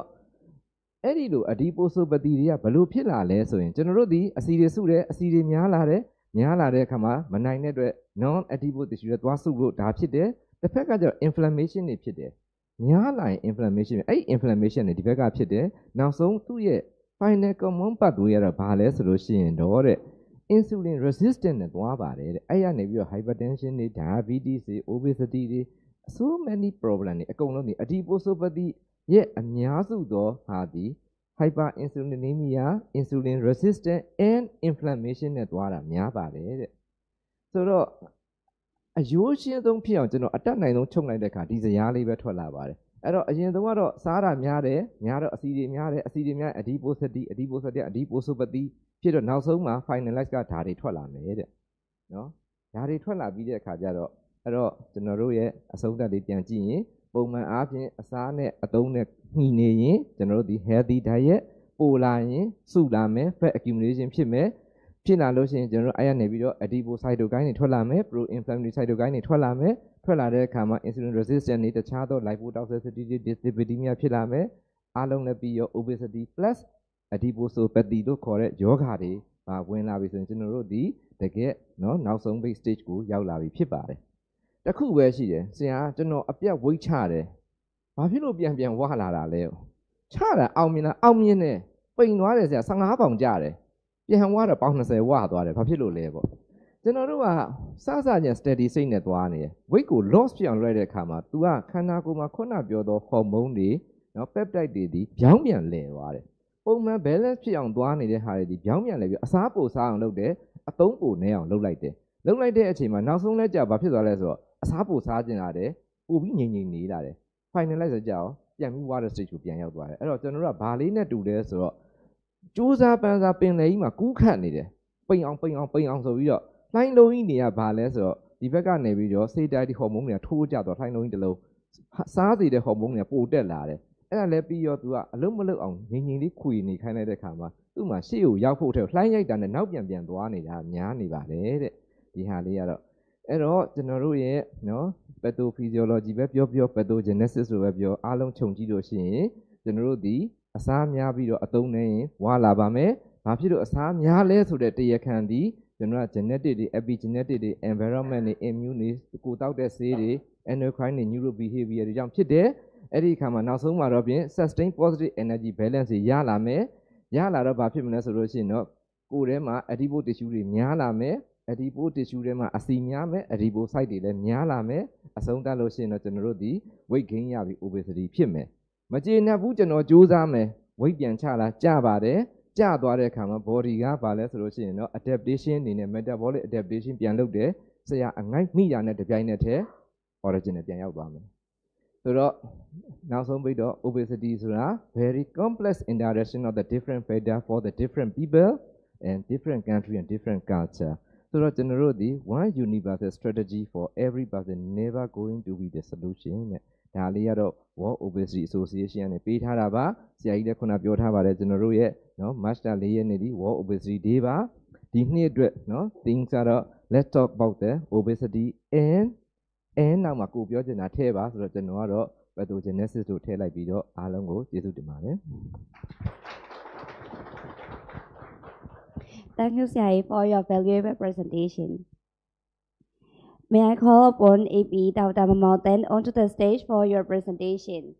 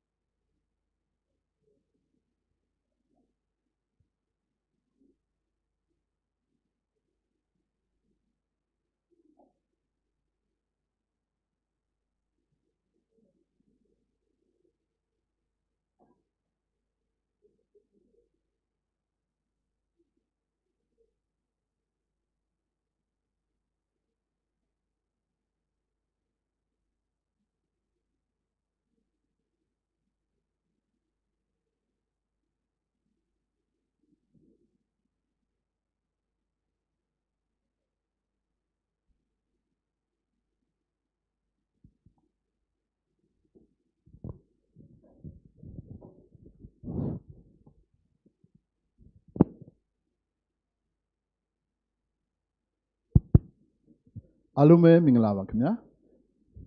ကျွန်တော်ဒီနေ့တင်ပြမယ့်အကြောင်းအရာတော့ new insight into management of obesity regarding the lifestyle aspect ပဲဖြစ်ပါတယ်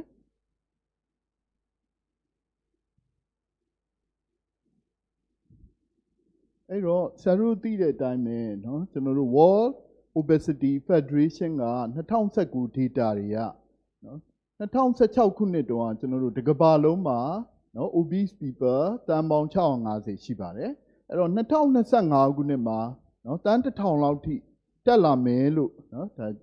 ခန့်မှန်းတွက်ချက်ထားတဲ့ data တွေရှိပါတယ်အဲ့တော့ဆရာကြီးဦးတင်ဆွေလန်းနဲ့ဆရာဦးကုကူတို့နော် step survey 2014ရလဲနော်ဗမာပြည်မှာနော်ကိုလေးချိန်ရှိသင့်ဒီထက်ပိုနေတဲ့သူက22.4%ရှိပါတယ်အဝလွန်ကဲတဲ့သူတွေကလည်း5.5%ရှိပါတယ် အဲ့တော့ကျွန်တော်တို့လူမျိုးတွေ10ယောက်မှာ9ယောက်လောက်ကနော်ဒီ healthy diet တွေဖြစ်တဲ့ဟင်းသီးဟင်းရွက်နဲ့သစ်သီးဝလံစားသုံးမှုတွေညော့နေနေတာတွေ့ရပါတယ်နော်16%လောက်ကလည်းကိုယ်လက်လှုပ်ရှားမှုနည်းပါးတာကိုတွေ့ရပါတယ်အဲ့တော့ခုနဆရာကုသိမ်းမြင့်လည်းပြောတဲ့ abdominal obesity syndrome လို့ခေါ်တဲ့ metabolic syndrome patient ဆိုရင်ဒါကျွန်တော်တို့နော်၄ယောက်မှာ၁ယောက်လောက်နော်ဒါ ဒါခုနဆရာကုသိမ်းမြင့်ပြောသလိုမျိုးယောဂတွေနဲ့ဆက်ဆက်တဲ့เนาะ adiposity ကเนาะ၄ယောက်မှာ၁ယောက်ဆိုဆရာတို့ဆေးကောင်းလာတဲ့လူနာတွေမှာเนาะအဲ obesity နဲ့ပဲဖြစ်ဖြစ် abdominal obesity နဲ့ပဲဖြစ်ဖြစ်လာမယ်ဆိုလို့ရှိရင်เนาะဒါဆရာတို့ lifestyle management ဘယ်လိုတွေလုပ်ရမလဲဆိုတာတင်ပြမှာဖြစ်ပါတယ်အဲ့တော့ဝါတာပဲเนาะဘယ်သူမှမထိခိုက်ပါဘူးမဟုတ်ပါဘူးเนาะအဲ့တော့ဝါတဲ့လူကเนาะဒီ health care cost တွေကเนาะတစ်နှစ်မှာဆိုလို့ရှိရင် American dollar 1800လောက်ကိုနော်သုံးဆွဲနေရတာကိုတွေ့ရပါတယ်အဲ့တော့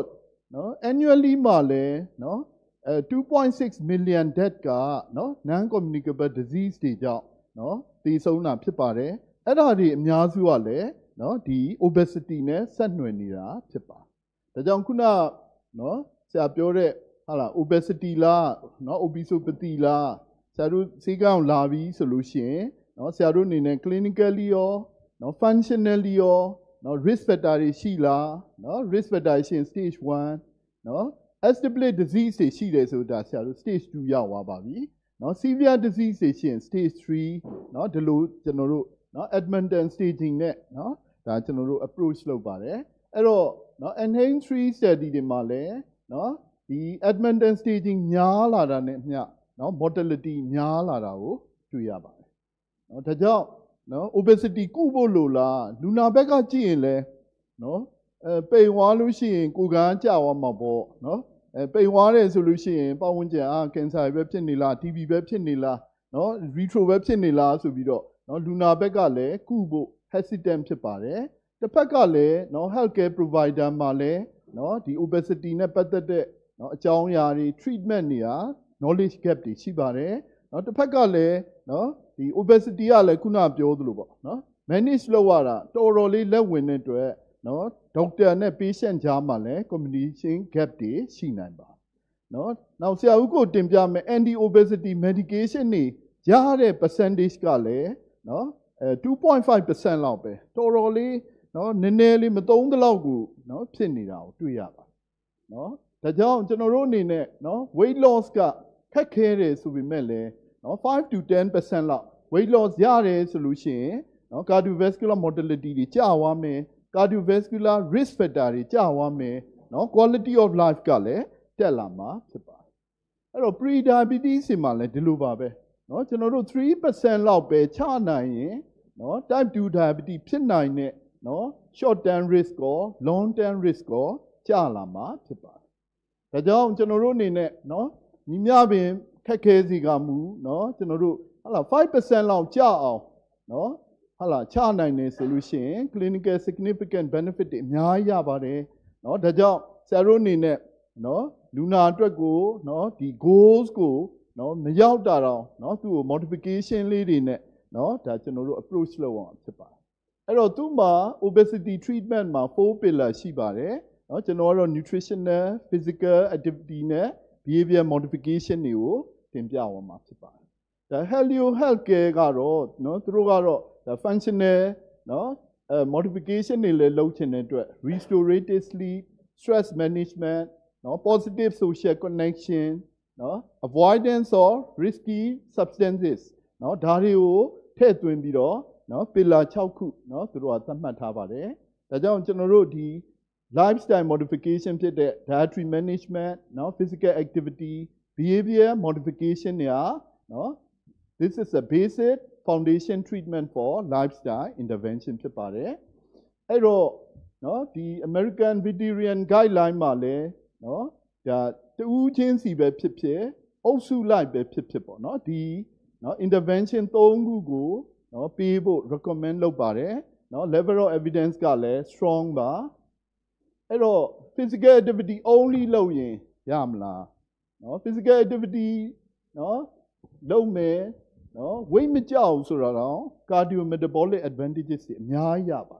အဲ့တော့ weight ကြောက်လုပ်မယ်ဆိုလို့ရှိရင်တော့နော်တော်တော်လေးနော် vigorous exercise ကိုပြင်းပြင်းထန်ထန်နဲ့နော်နာရီများများလုပ်မှကြမယ်ဆိုတော့နော်အဲ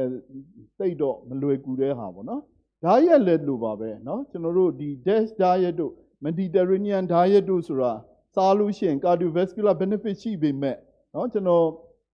လေ့လာကြည့်တယ်ပုံနေစားလဲစားကြည့်တယ်တိတ်အဆင်မပြေဘူးပေါ့နော် adherence ကနော်ရေရှည်နော်စားနိုင်ဖို့ကျွန်တော်တို့ဗမာလူမျိုးတွေအတွက်ရေရှည်စားနိုင်ဖို့ကမလွယ်ပါဘူးဒါကြောင့် diet နဲ့ physical activity ပေါင်းလိုက်လို့ရှိရင်နော်ဒါ weight loss goal ကို achievement ရဖို့နော်ဒါအောင်မြင်နိုင်တယ်နော်နှစ်ခုတွဲလို့ရှိရင်အောင်မြင်နိုင်တဲ့ chance ကပိုများပါတယ်နော်အဲ့တော့ lifestyle ကြီးပဲဆိုလဲတိတ်နော်သူ့ရဲ့ဟာလာ change in weight outcome ကနော်3 to 5%လောက်ပဲရပါဒါကြောင့်နော် pharmacotherapy ပေါင်းလိုက်မှနော်သူ့ရဲ့နော်အဲ percentage က5 to 15%ထိတက်လာနိုင်ပါတယ်နော်အဲတစ်ဖက်ကလည်းဆရာတို့နော်ကုသလျက်ရှိတဲ့ဆေးတွေလည်းဆက်ပြီးတော့ essential drug တွေလည်းဆက်ပြီးပေးဖို့လိုပါ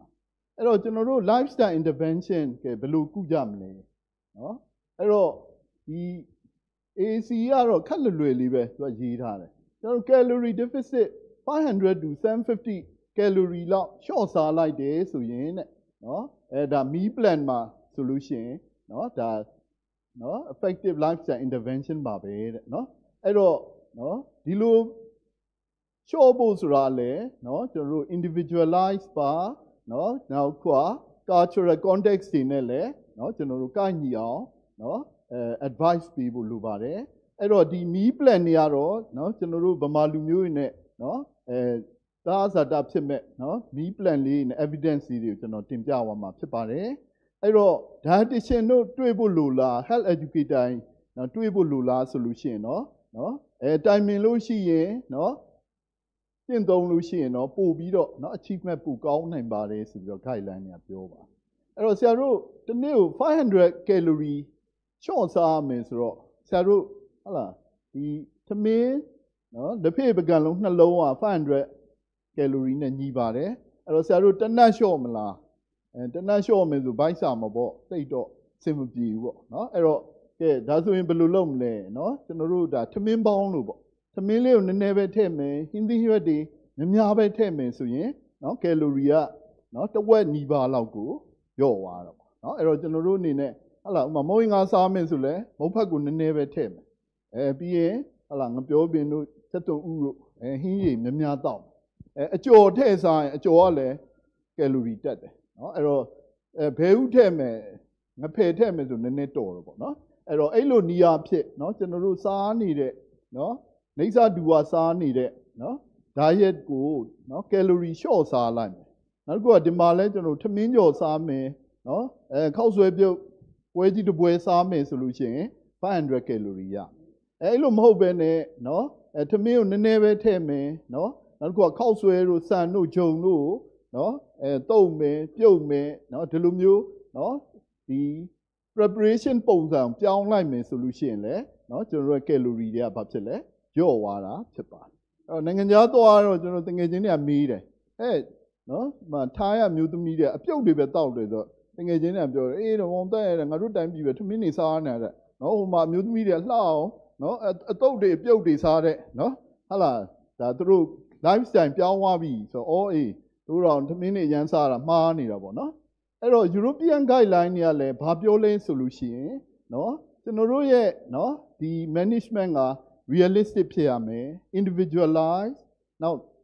တောက်လျှောက်လုပ်နိုင်တယ်ပေါ့နော် sustainable lifestyle changes တွေဖြစ်ရမှာဖြစ်ပါတယ်เนาะအဲ့တော့ခုနလိုတစ်နေ့ကို500 calorie လျှော့လိုက်တာ ਨੇ တစ်ပတ်ကိုတစ်ပေါင်နှစ်ပေါင်ဒါလျော့သွားတယ်ဆိုလို့ရှိရင်เนาะခုနပြောတယ်ကျွန်တော်တို့ aim လုပ်တယ်5 to 15% weight loss goal ကိုဖြည်းဖြည်းချင်းရလာမှာဖြစ်ပါတယ်အဲ့တော့เนาะ နော်တနေ့စားတဲ့ဟာကိုကျွန်တော်တို့ကချော့ချော့သွားမှာပေါ့နော်ရောင်ရဲသွားမယ် negative energy balance ကိုနော်သူတို့ကနေ recommend လုပ်ပါတယ်အဲ့တော့ဟုတ်ပြီကဲတနတ်မစားဘဲနဲ့အဲ့ဒီတနတ်မှာ meal replacement ပေါ့နော်ကဲခုနပြောတဲ့ဟလာ protein milkshake တွေတောက်မယ်နော်အဲ glucose တို့ diabetazole တို့ဒါတွေတောက်မယ်ဆိုရင်ရောရလားအဲသူတို့ကတော့နော် suggest လုပ်ပါတယ် although the level of နော် evidence is weak နော်သူတို့ကတော့ suggestion ပေးပါအဲ့တော့ဟုတ်ပြီကဲစားမယ်ဆိုကျွန်တော်တို့က low carbohydrate low fat ရွေးစားမယ်အဲ့တော့ low carbohydrate နဲ့ low fat ရွေးစားမယ်ဆိုလို့ရှိရင်တော့နော်ဟာလာနေ့တိုင်းချော့သွားတယ်ဆိုလို့ရှိရင်တော့နော်ဒါ change in weight ပေါ့နော် weight ကတိတိတတ်တာကိုကျလာမှာပါအဲ့တော့ဘယ်ဟာပူကောင်းလဲနော် low fat နဲ့နော်အဲ့တော့ fat လေးပါတော့လဲစားလို့တော့လို့ရတာရှိတာပေါ့နော် အဲအဲ့တော့ carbohydrate ကလည်းခုနပြောသလို low carbohydrate ဆိုတော့လေကျွန်တော်အရွက်တွေပဲကြံတော့တော့เนาะအဲ့တော့နော်ဘယ်ဟာပူကောင်းလဲဆိုလို့ရှိရင်เนาะဒီ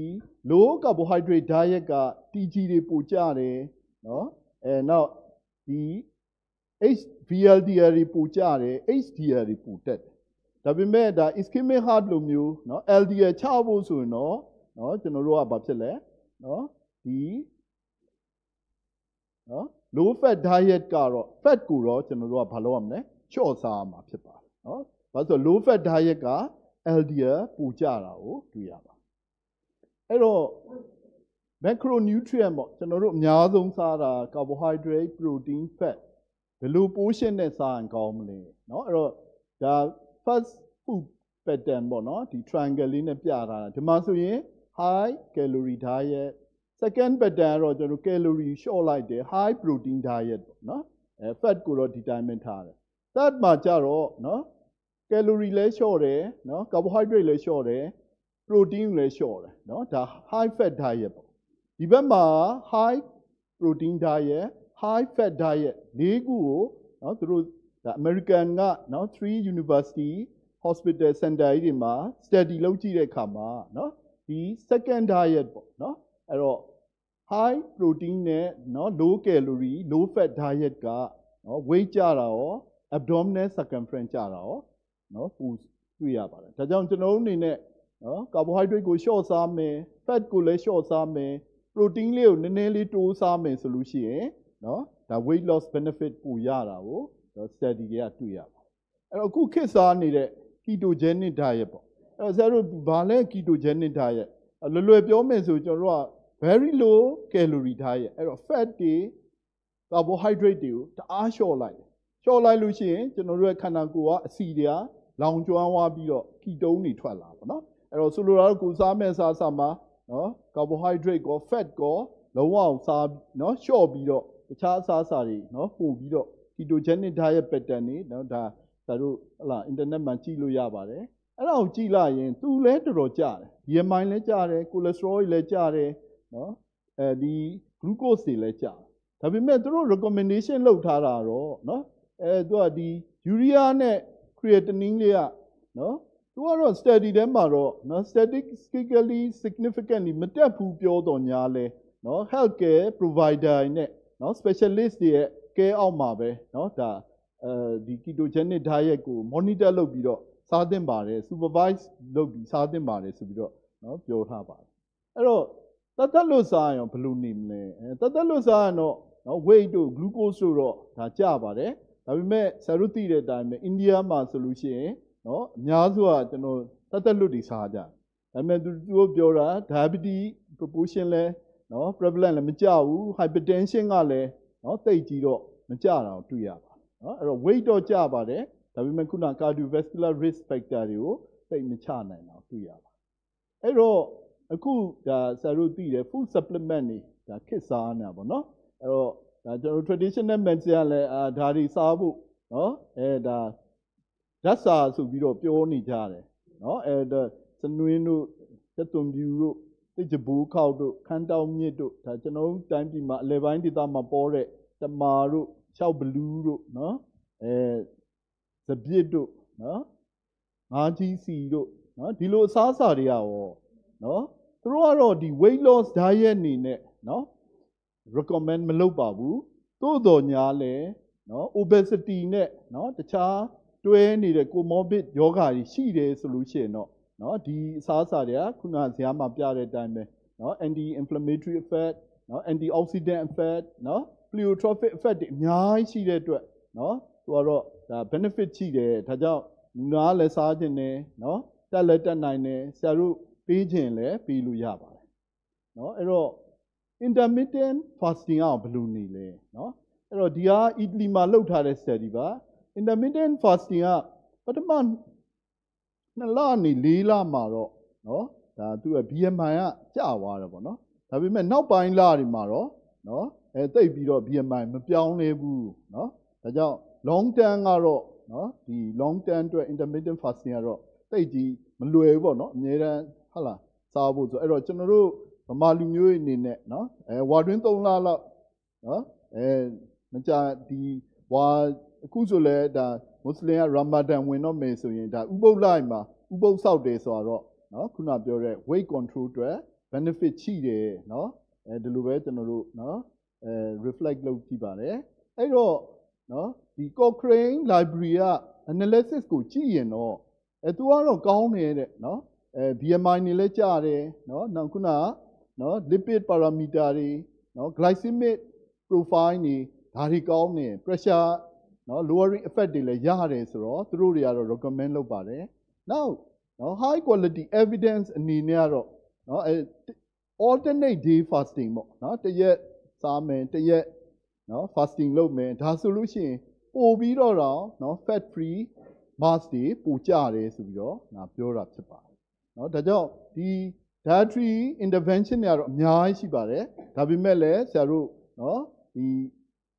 most useful evidence တွေပဲကျွန်တော်တင်ပြခြင်းဖြစ်ပါတယ်အဲ့တော့ physical activity အနေနဲ့ကတော့နော်ကျွန်တော်တို့ဟုတ်လားဒါနော် paradigm change တွေဖြစ်သွားတဲ့အတွက် technology တွေတိုးတက်လာတယ် automobile တွေများလာတော့နော်ကျွန်တော်တို့ကတိတ်မလှုပ်ရှားဖြစ်တော့ဘူးနော်ဒီအပြင်လဲကျွန်တော်တို့ကနော် leisure activity မရှိဘူးပေါ့နော်ဟလာ ၄ယောက်မှာတစ်ယောက်လောက်ကနော်ခုနပြောသလိုဟဟုတ်လားလက်ရှာမရှိဘူးအလုပ်တွေပဲလုပ်နေရတဲ့အတွက်နော်ဒါ physical activity နည်းွားတဲ့အတွက် obesity တွေများလာတယ်ပေါ့နော်အဲ့တော့ကျွန်တော်တို့လေ့ကျင့်ခန်းတွေလုပ်ပြင်အဖြစ်နော် colonic cancer diabetes hypertension နော်ဒီ risk တွေကြပါတယ်တစ်ဖက်ကလည်း weight control အတွက်ကောနော်နောက်တစ်ခုကတော့နော်ဒီ healthy bone နော် bone health joint health ဒါတွေအတွက်လည်းနော် အဲ physical activity ကအများကြီးအထောက်အကူပေးပါတယ်တစ်ဖက်ကလည်း elderly တွေမှာလည်း fall risk တွေကိုကျစေပါတယ်ဒါကြောင့်ကျွန်တော်တို့အနေနဲ့ physical activity လုပ်ကိုလုပ်ရမှာဖြစ်ပါတယ်အဲ့တော့သူ့ရဲ့ recommendation ကလည်းเนาะအရင်တိုင်းပါပဲเนาะကျွန်တော်တို့ moderate exercise ဆိုရင်တော့တစ်ပတ်ကိုတစ်နာရီနှစ်နာရီခွဲပေါ့150 minute ပေါ့အဲ့တော့ vigorous and severe exercise တွေကတော့60 to 90 minute ပေါ့เนาะဒီလိုလှုပ်ရှားမှာဖြစ်ပါတယ်เนาะအဲ့တော့ကျွန်တော်တို့ တစ်ဖက်ကလည်းနော်ဟလာအစားတော့လည်းရှောင်နေလေ့ကျင့်ခန်းကလည်းလုပ်မယ်ဆိုလို့ရှိရင်တို့တို့ခန္ဓာကိုယ်ကနော်ကြော့ရဲပြော့ပြဲကုန်မှာပေါ့နော်အဲ့တော့အဲ့လိုမဖြစ်အောင်ကျွန်တော်အနေနဲ့ resistant exercise တွေနော်အဲတပတ်ကို2ချိန်3ချိန်နော်ဒါ weight နဲ့ကစား resistant exercise တွေလုပ်ရမှာဖြစ်ပါတယ်အဲ့တော့ तू ကတော့နော် exercise trainer တွေနော် physical activity coach တွေနဲ့နော် train လုပ်လို့ရှိရင်ပို့ပြီးတော့ effective ဖြစ်တယ်လို့ပြောပါတယ်အဲ့တော့ဟုတ်ပြီကဲကဲ gym လည်းမသွားနိုင်ဘူးเนาะ gym သွားရတာလည်းဈေးကြီးတယ် exercise trainer ကလည်းเนาะအဲယောက်ျားချင်းဆိုငှားရတာတိတ် feel မလာဘူးပေါ့เนาะအဲဆိုရင်ဘယ်လိုလုပ်မလဲအဲဒါရက်ွက်ထက်မှရှိတဲ့ local gym ဒါမှမဟုတ်အိမ်မှာ exercise လုပ်လို့ရပါတယ်เนาะနောက်ခုနဆရာကုသိမ်းမြင့်ပြောသူပေါ့เนาะလမ်းမမထွက်ဘူးဆိုရင်လည်းခုန going gap ပေါ့เนาะအဲဆိုလိုတာတော့เนาะဒီ အဲဟိုပေါ့နေလွတ်တွေမှာပေါ့နော်ခုနဥယျင်တို့လိုနော်အဲပန်းဖြေတဲ့နေရာလေးမှာလည်းလမ်းလျှောက်လို့ရပါတယ်နော်ဟိုမဖြစ်ဘူးလဲဆရာတို့ dance လုပ်လို့ရပါတယ်နော်အဲတချင်းလေးဖွင့်ပြီးတော့အဲ့တော့လှုပ်ရှားရင်ပဲဆရာတို့အနေနဲ့နော်ဟာလာ weight loss benefit လည်းရမယ်ပျော်လဲပျော်စီပါတယ်နော်အဲ့တော့နောက်ဆိုရင်ကျွန်တော်တို့ဒီလိုဟာလာ workshop ကြီးတွေမှာဆိုဘယ်လိုပဲဖြစ်ဖြစ်ပေါ့နော် အဲတော့ကုမ္ပဏီကနေပြီးတော့တချင်းလေးဖွင့်ပြီးတော့အဲနော်ကားကြမလားလေ့ကျင့်ခန်းလေးလုပ်ကြမလားပေါ့နော်ဘာလို့ဆိုတော့ခုကျွန်တော်တို့ထိုင်နေတာဆိုတနားကြီးကြော်ပြီးနော်ဆရာတို့နော် weight gain ရဖို့တော်တော်များနေပြီနော်အစားအသောက်တွေကလည်းကောင်းနေဆိုတော့နော်အဲ့တော့ကြောင့်ဆရာတို့အနေနဲ့နော် any activity help ပါနော်ဒါကြောင့်ဖြည်းဖြည်းဖြည်းဖြည်းစပါအာဒူးနာလို့အစစ်နာလို့ဆိုလဲနိုင်တယ်လို့နော်လှုပ်ရှားခြင်းအဖြစ်နော် improve ဖြစ်လာမှာဖြစ်ပါတယ်အဲ့တော့အိမ်မှာနော် ဟုတ်လားပြုပြင်စရာရှိတာတိဆောက်စရာရှိတာလေးတွေအလုပ်သမားမငှားပဲနဲ့ကိုကိုတိုင်းလုပ်မယ်ဆေးတုပ်မယ်နော်အဲဥယျာဉ်ခြံစိုက်ပြူတာလေးလုပ်မယ် household chore တွေလုပ်မယ်ဒါတွေဆိုလို့ရှိရင် leisure time activity တွေယူတာလဲ physical activity ပါဆိုလိုတာတော့ငြိမ်ငြိမ်လေးမနေပဲနဲ့နော်ဒါလှုပ်ရှားနေရမှာပေါ့နော်အဲ့တော့ car parking လဲဒီလိုပဲနော်ဆရာတို့နောက်ဆိုလို့ရှိရင်ခပ်ဝူဝေးနော်ဟလာ car park လုပ်ပြီးတော့လမ်းလျှောက်မယ်နော်အဲနောက်တစ်ခုကတော့ နော်အခုပြန်ရင်ဆရာတို့ lift မသုံးနဲ့တော့နော်အဲဟုတ်လားလှီကားနေပဲဆင်းမယ်တက်မယ်နော် delivery ပို့တာမဆောက်ပဲနဲ့နော်ကိုကိုတိုင်းဘာလုပ်မလဲဆိုင်မှာတော့ဝယ်မယ်နော်ကလေးတွေနဲ့လည်းအတူနော်အဲဆော့မယ်ဆိုလို့ရှိရင်ဒါကျွန်တော်တို့ physical activity ကို increase လုပ်နိုင်ပါတယ်အဲ့တော့ဆရာတို့အစားပို့စားမိရင်လည်းနော်ဒါတွေဆရာတို့ဒါ internet ခေတ်ကြီးမှာဆရာတို့ကြည့်လို့ရပါတယ်ငါစားတာတော့များသွားပြီကယ်လိုရီများသွားပြီဆိုရင် နော် burn ဖြစ်ဖို့ဘယ်လောက်လေ့ကျင့်ခန်းဘယ်လောက်လုပ်ရမလဲဒါလေးတွေတွက်ချက်ပြီးတော့နော်အဲ့တော့ဆရာတို့လုပ်လို့ရပါတယ်အဲ့တော့ဆရာတို့ရဲ့လူနာတွေကနော် comorbid illness တွေရှိရင်တော့နော်ဆရာတို့အနေနဲ့မလုပ်ခင်မှာ medical check up လေးလုပ်ဖို့လိုပါတယ်အဲ့တော့နောက်ဆုံးပိုင်းကတော့ဆရာတို့ behavior modification ပေါ့နော် behavior modification ကတော့ကျွန်တော်အသေးစိတ်မပြောတော့ပါဘူးသူ့မှာလည်းခေါင်းစဉ်တွေလည်းအများကြီးပါတယ်နော် psychological intervention တွေ နော် motivation တွေအများကြီးပါတဲ့အတွက်ဒါတွေအတွက်ကြတော့နော်ကျွန်တော်တို့အနေနဲ့နော် soft skill training တွေ workshop တွေလုပ်ပြီးတော့နော်အဲ့တော့ဆရာတို့စိတ်ဝင်စားတယ်ဆိုရင်တော့လေဖတ်ကြည့်ပြီးတော့နော်လူနာလာလို့ရှိရင်အချိန်လဲပေးရပါတယ်နော်ဒါတွေကနော်တော်တော်လေးနော် weight loss program တွေမှာတော်တော်လေး benefit ဖြစ်တာတွေ့ရပါတယ်အဲ့တော့နောက်ဆုံးအနေနဲ့ဆရာတို့ဟုတ်ပြီကိုယ်စီကန်းကိုနော်အဲ overweight ကိုယ်လေးချိန်များနေတဲ့လူဒါမှမဟုတ် နော်ကိုယ်လေးချိန်အရမ်းများတဲ့လူလာရင်ဘယ်လိုလုပ်မလဲနော်ဆရာတို့အနေနဲ့ support ပေးရမှာဖြစ်ပါတယ် monitoring တွေလုပ်လို့ရပါတယ်နော်လိုအပ်လို့ရှိရင်လည်းနော် referral လုပ်ရမှာဖြစ်ပါတယ်အဲ့တော့သူတို့ရဲ့နော်ဒီအဲ recommendation တွေကတော့နော်အဲ obviously diagnosis documented လုပ်ထားမယ်နော်ပြီးလို့ရှိရင်ဆရာတို့ diet physical exercise ဒါတွေကိုဆရာတို့အနေနဲ့ counseling လုပ်ရဆ ရာတို့ counseling လုပ်လိုက်တယ်ဆိုလို့ရှိရင်လူနာကနော် weight ချခြင်းနဲ့နော်ဟလာလူနာအရေအတွက်ကပိုများလာတာကိုတွေ့ရပါတယ်။နော်အဲ့တော့ဆရာတို့အနေနဲ့ BMI weight circumference နော်နောက်တစ်ခုကသူ့မှာ comorbidity တွေရှိလားနော်အဲအဲ့တော့အရင်ကရော weight ချဘူးတဲ့နော်ဟုတ်လား weight ချဘူးလားနော်နောက်သူ့မှာ concern ဘာတွေရှိလဲဘာတွေလိုအပ်လဲသူဘာတွေ expectation ရှိလဲ ဒါတွေကိုနော် individualize နော် approach လုပ်ရမှာဖြစ်ပါတယ်အဲ့တော့ကျွန်တော်တို့အနေနဲ့နော်ဟုတ်လားအဲဝါတဲ့လူနာလာရင်နော်အဲပထမဆုံးတော့မေးကြည့်ရပါတော့ခုန body shaming ဖြစ်မှာလဲတစ်ဖက်ကနော်သူ့ရဲ့ autonomy ထိခိုက်မှာလဲကျွန်တော်တို့ကကြောက်ရတယ်နော်ဒါပေမဲ့တစ်ဖက်ကလည်းသူ့ကိုဟုတ်လားဒီဝါတာနဲ့ပတ်သက်လို့တေချာအဝါတယ်မကောင်းတော့ယောဂတွေဝင်လာပြီးစီးကြိုတွေမထိန်နိုင်တော့ဘူးဒါတွေကိုနော်နည်းနည်းလေး ဖြည်းဖြည်း approach လုပ်ပြီးတော့နော်အဲမေးကြည့်ရပါမယ်အဲပြီးလို့ရှိရင်နော်ဟုတ်လားလူနာ agree ဖြစ်ပြီဆိုရင်ခုနက assessment လုပ်ရမယ်နော်ပြီးလို့ရှိရင်တော့ဟုတ်လားဝိတ်ချကြဖြစ်ဘာတွေကောင်းနေနော်ဘာတွေသတိထားမလဲဘယ်လိုရှောင်ရမလဲဒါတွေကိုဆရာတို့ advice ပေးရပါမယ်နော်ပြီးလို့ရှိရင်တော့ဟုတ်ပြီတို့တစ်လအတွင်းဘယ်နှပေါင်ချမလဲနော်အဲ patient နဲ့ကိုယ်နဲ့နော် ဟလာ reasonable goal ကို agreement ရအောင်နော်ဆရာတို့ဆောင်ရွက်နိုင်မယ်သူ့မှာဘာ barrier ရှိလဲ resource တွေဒါတွေကိုသုံးပြီးတော့ကျွန်တော်တို့က assist ပေးမယ်နော် follow up အတွက် arrange လုပ်ရမှာဖြစ်ပါတယ်အဲ့တော့ကျွန်တော်တို့ဆရာဝန်နေနေနဲ့အများဖြစ်ရတော့မဝိချခိုင်းနေနော် ask နဲ့ advice ပဲလုပ်တာများပါတယ်နော်အဲ patient အောင်တေချာနော်ဟလာ academically assess လုပ်တာ assist လုပ်တာ arrange လုပ်တာတွေ အားနေတာတွေ့ရပါတယ်နော်ဒါကြောင့်နော်ဆရာတို့အများကြီးပြောလိုက်လို့နားမရှုပ်သွားပါနဲ့နော်လူရင်းတူရှဲရတော့ဘာ symptom နည်းနဲ့လာလဲ underlying cause ဘာတွေရှိလဲနော်သူမှာတခြား comorbid ယောဂါတွေဘာတွေရှိလဲနော်အရင်ကရောနော် weight loss အဲ weight ချတာအောင်မြင်လားနော်သူ့ရဲ့ဟလာ lifestyle modification လုပ်ဖို့ကျွန်တော်တို့အနေနဲ့နော် lifestyle history လေးတွေမေးကြည့်ရပါမယ် နော်သူ့ရဲ့ eating behavior နော်ဆရာတို့ဘလို့စားလဲဘလောက်စားလဲဒါကိုဆရာတို့အသေးစိတ်လုပ်ဖို့လိုပါတယ်နော်ကျွန်တော်တို့ဟလာ behavior modification အတွက်လည်းနော်သူ့မှာ psychological factor တွေရှိလားနော်ဟုတ်ပြီကဲအသက်60လောက်ကြီး80လောက်ကြီးတော့ဆရာတို့နော်ဝိတ်မချခိုင်းမှနဲ့တော့တော်ကြဝိတ်တွေကျပြီးတော့နော် immune ဟလာဟိုဟလာ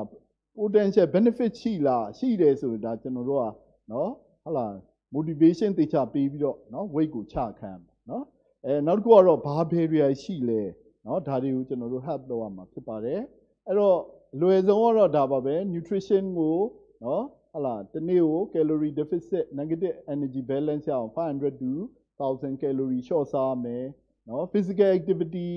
နော်ဟလာ moderate physical activity 150 per minute နော်အဲနောက်တစ်ခု resistant exercise လေးကိုလည်းနော် 2 to 3 section per week နော်ပြီးရင်လာတိုင်းဆရာတို့အနေနဲ့ cognitive behavior therapy တွေပေးရမှာဖြစ်ပါတယ်နော်အဲ့တော့ဒီ pharmacotherapy တို့တော့ဆရာကြီးကူကဆက်ပြီးပြောမှာဖြစ်ပါတယ်အဲ့တော့လာရင် weight loss ကို achieve ရလားနော်လိုအပ်တဲ့နော် parameter တွေကိုဆရာတို့ assess လုပ်ရမှာဖြစ်ပါတယ်နော်လိုအပ်လို့ရှိရင် specialist referral လုပ်ရမှာဖြစ်ပါတယ် so with that now i would like to conclude with no uh, from the noun onward no we amend ourselves and with the patient let's talk about obesity and thank you very much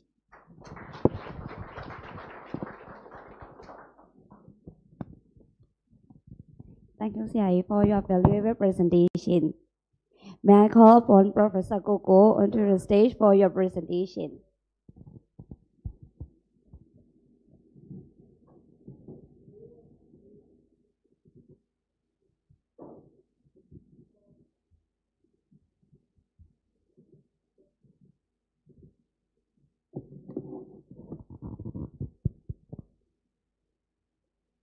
ဆရာတို့အားလုံးမင်္ဂလာပါ။အဲရှေ့မှာ အားတက်ဆရာကြီးပြောသွားတော့ကျွန်တော်တို့မှဘယ်လိုလုပ်ရမှန်းတော့မသိတော့ဘူးเนาะဆရာသိမ့်မြင့်ကလည်းပြောတာမင်းစားခြင်းလို့စားလို့ဝါတာမဟုတ်ဘူးเนาะသူကစားပြီးလဲကျွန်တော်ကပြန်ဝမဲ့ mechanism တွေကအများကြီးရှိနေတော့တော်တော်ဒုက္ခရောက်တာပေါ့เนาะအဲ့ဒါတစ်ချက်ပေါ့နောက်ပြီးတော့ဒီဘက်ကလည်းဆရာမပေါင်တန်းကလည်းအများကြီးပြောသွားပါတယ်အဲ့တော့ကျွန်တော်တို့အနေနဲ့ကဒီနေ့က obesity အကြောင်းမှာအခက်အခဲဆုံးအကြောင်းကျွန်တော်ဒီနေ့ပြောရမှာဖြစ်ပါတယ် ဘာလို့လဲဆိုတော့ကိုကိုယ်တိုင်လည်းမတရားကြိုးစားနေပါတယ်အဲ့မှာကျွန်တော်သင်္ခါရတရားကိုကျွန်တော်တော်တော်သိသွားတယ်ပိန်လိုက်ဖောင်းလိုက်ပိန်လိုက်ဖောင်းလိုက်ဆိုတော့သင်္ခါရတရားတော်တော်ယူများပါတယ်အဲ့တော့ကျွန်တော်ဒီနေ့ကတော့ obesity management ကိုကျွန်တော်သွားခြင်းပါတယ်အဲ့တော့ကျွန်တော်ဒီနေ့ဆရာတို့ကိုကျွန်တော်တို့ message ပေးချင်တာက we are not treating the obesity for beauty နော်လှကျင်လို့ကျွန်တော်တို့ကုနေတာမဟုတ်ပါဘူး we would like to treat that obesity to get the health benefit အဲ့ဒါလေခုနကဆရာမောင်တန်ပြောသွားပါတယ်5 to 10% weight loss ရရင်ဆရာတို့ health benefit တွေရပါတယ်အဲ့ဒါကိုကျွန်တော်တို့ဒီနေ့ဒီနေ့ message ပေးချင်ပါတယ်ဒါကြောင့်မလို့ခုနကလည်းဆရာကြီးကပြောသွားတယ် obesity ဆိုတာတဲ့ chronic disease ဖြစ်နေပါပြီဒါကြောင့်မလို့ဆရာတို့နော်ကျွန်တော် ABCD လို့အခုခေါ်ပါတယ်ကျွန်တော် adiposity based chronic disease လို့ခေါ်ပါတယ်ဒါကြောင့်ကျွန်တော်တို့ဒီနေ့ဆရာတို့ပေးခြင်းနေပါစေဘာလို့ကျွန်တော်တို့ကုနေရတဲ့ စီဂျိုသမားတွေကဝဝကြီးတွေအသက်ကြီးကြီးတွေသူတို့ကိုကျွန်တော်တို့ကပိန်သေးပေးမယ်လို့ပြောရင်သူကပိန်ချင်မဘူးဘာလို့မှလဲဒီတော့ကအသက်ကြီးနေပါပြီဆိုတော့သူတို့ရဲ့ concept ကလောလောဆယ်မှာပိန်အောင်လုပ်တာလှအောင်လုပ်တယ်လို့ထင်တာပါအဲ့ဒါမဟုတ်ပါဘူးဆိုတော့ကျွန်တော်တို့အနေနဲ့ပြောချင်ပါတယ်ဘာလို့လဲဆိုတော့ဒီ obesity ကိုလည်းခုနဆရာတို့တင်ပြသွားပါတယ် they are recognized as a disease and health issue အဲ့ဒါကို WHO ကလည်းပြောပါတယ်ကျွန်တော်တို့က obesity management ကိုလုပ်နေတော့ association တွေအကုန်လုံးကနေပြောဘာပြောသွားလဲဆို obesity ဆိုတာတဲ့ chronic disease ပါဖြစ်ပါတယ်တဲ့ဒါကြောင့်မလို့ကုဖို့လိုအပ်ပါတယ်ဆိုတော့ကျွန်တော်တို့ဒီကောင်းတွေကဒီ obesity ကြောင့်တို့က mobility တွေ mobility အများကြီးတက်တဲ့ကြောင့်ကုရမယ်လို့ကိုကျွန်တော်တို့ကကျွန်တော် endorse လုပ်ပြီးသွားပါတယ်ဆရာတို့ကျွန်တော်တို့ဘယ်လောက် weight loss လုပ်ရမလဲလို့ပြောရင်ကျွန်တော်တို့အနေနဲ့0 to 5%ဆရာချရင် hypertension တက်တာမယ်ကျွန်တော်တို့က diabetes တက်တာမယ်ဆိုတော့ diabetes နဲ့ hypertension ကိုဆရာတို့ ချခြင်း0 to 5လောက်ကျွန်တော်တို့ချရင်ရ